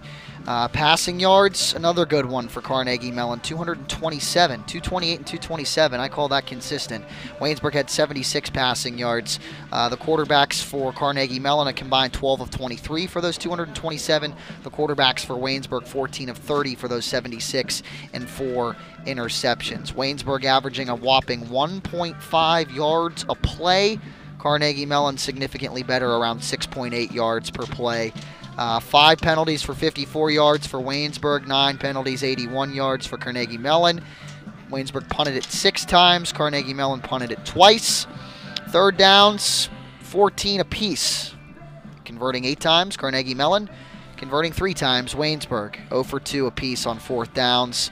Time of possession 35 minutes 15 seconds for Carnegie Mellon, 24 45 for Waynesburg. As far as individual statistics go, uh, for Tyler Raines of Waynesburg, 67 passing yards, 9 passing yards for Mason Schranker. For rushing, Justin Flack, 24 yards. Nick Hall, 2. Ben Howell, minus 3. For Carnegie Mellon, however, Luke Bickledge, 92 yards. Ryan Shaw, 91 yards. So a very lethal one-two punch for Carnegie Mellon today that catapulted them really to this 51-point margin of victory. Give their defense credit too. I mean, they held Waynesburg to a goose egg, the second consecutive team to do so. But Buchledge or uh, Bickledge, I should say, Ryan Shaw, bang bang out of the backfield when they came out in the third quarter right away. And Ben Mills, too, well, I mean, I know it's on the defensive side too, but Ben Mills is quarterback for CMU. Uh, oh, an absolute. I mean, he. yeah. eh, For not for being a freshman starting this game, I mean, as weak as Waynesburg has looked so far this season, to play like he did was also pretty impressive for a freshman quarterback. And with J.D. Dayhoff, the senior quarterback listed as the number one, um, at least the number one quarterback not playing in this game today, uh, and Ben Mills being the starter and doing what he did, uh, that's quite impressive. Uh, certainly, again for the for the freshman quarterback that played the first part of this game for Carnegie Mellon University. As for Waynesburg, still some struggles. Tyler Raines didn't look too sharp. Mason Schranker didn't either, but Schranker was in more of garbage time at this point in the game, just getting some repetitions for Raines, who Yeah. struggled toward the beginning part. But uh, that'll do it here. Uh, pending the crossover event, whether Waynesburg will host that game or not will depend on whether we do another production. But uh, for the regular season, so to speak, uh, for the regular football season, this is it for us. Uh, and it's also it for us because Jack and I are seniors and we are likely to graduate Likely, at the end more of, than uh, likely. the end of this home month. stretch. So the home stretch yeah, coming along. a tremendous, a, a tremendous thank you and help to Bob and Jay Hawk and Dan uh, Hersa from RPC Video. They've been down here. Uh, Bob helping in the setup for both days. Uh, Jay and Dan down here during the game last week and this week. They've been a tremendous help uh, getting us acclimated to uh, our new high definition trailer that's going to take uh, this department and the Waynesburg University Sports Network to the next level and put together some quality productions and continue to improve. I wish I could be around for it Yeah. for sure, but uh, tremendous thank you to them. Tremendous thank you to our tremendous faculty. I keep saying tremendous. uh, to our faculty, Department Chair Richard Krause, Faculty Advisor Melinda Roeder, uh, our um, uh, sports announcing advisor Lanny Frattare for scheduling these games and being patient with us and uh, with all the schedule changes uh, due to COVID. Thanks to our producer this evening, Riley Holsinger, our director, Matt Mansfield, technical director, Matt, uh, Adam Morganti, audio, Jared Weicker, graphics, Darian Allensworth, our camera ops, Joe Venzel, Bruce Davidson, Brock Owens, help from Nick Staso, Jeremiah Miller on replay. If I missed anybody, I am sorry. Drew Rhea, our spotter and statistician, and everybody else that was down here helping set up and getting this done because, uh, you know, quick turnaround. Going to basketball to football, we were able to do it, and uh, hopefully we're able to do one more in a couple of weeks, uh, either April 23rd or the 24th. That crossover game potentially either one of those days at John F. Wiley Stadium. All right, yes, for the rest of our crew and Jack Hillgrove, I'm Nicholas Callas. You've been watching this production of the Waynesburg University Sports Network. Stay tuned for that date on the 23rd. Waynesburg might play and we might produce that game and bring it to you. But again, check the news on that. But so long from John F. Wiley Stadium. This has been the Waynesburg University Sports Network.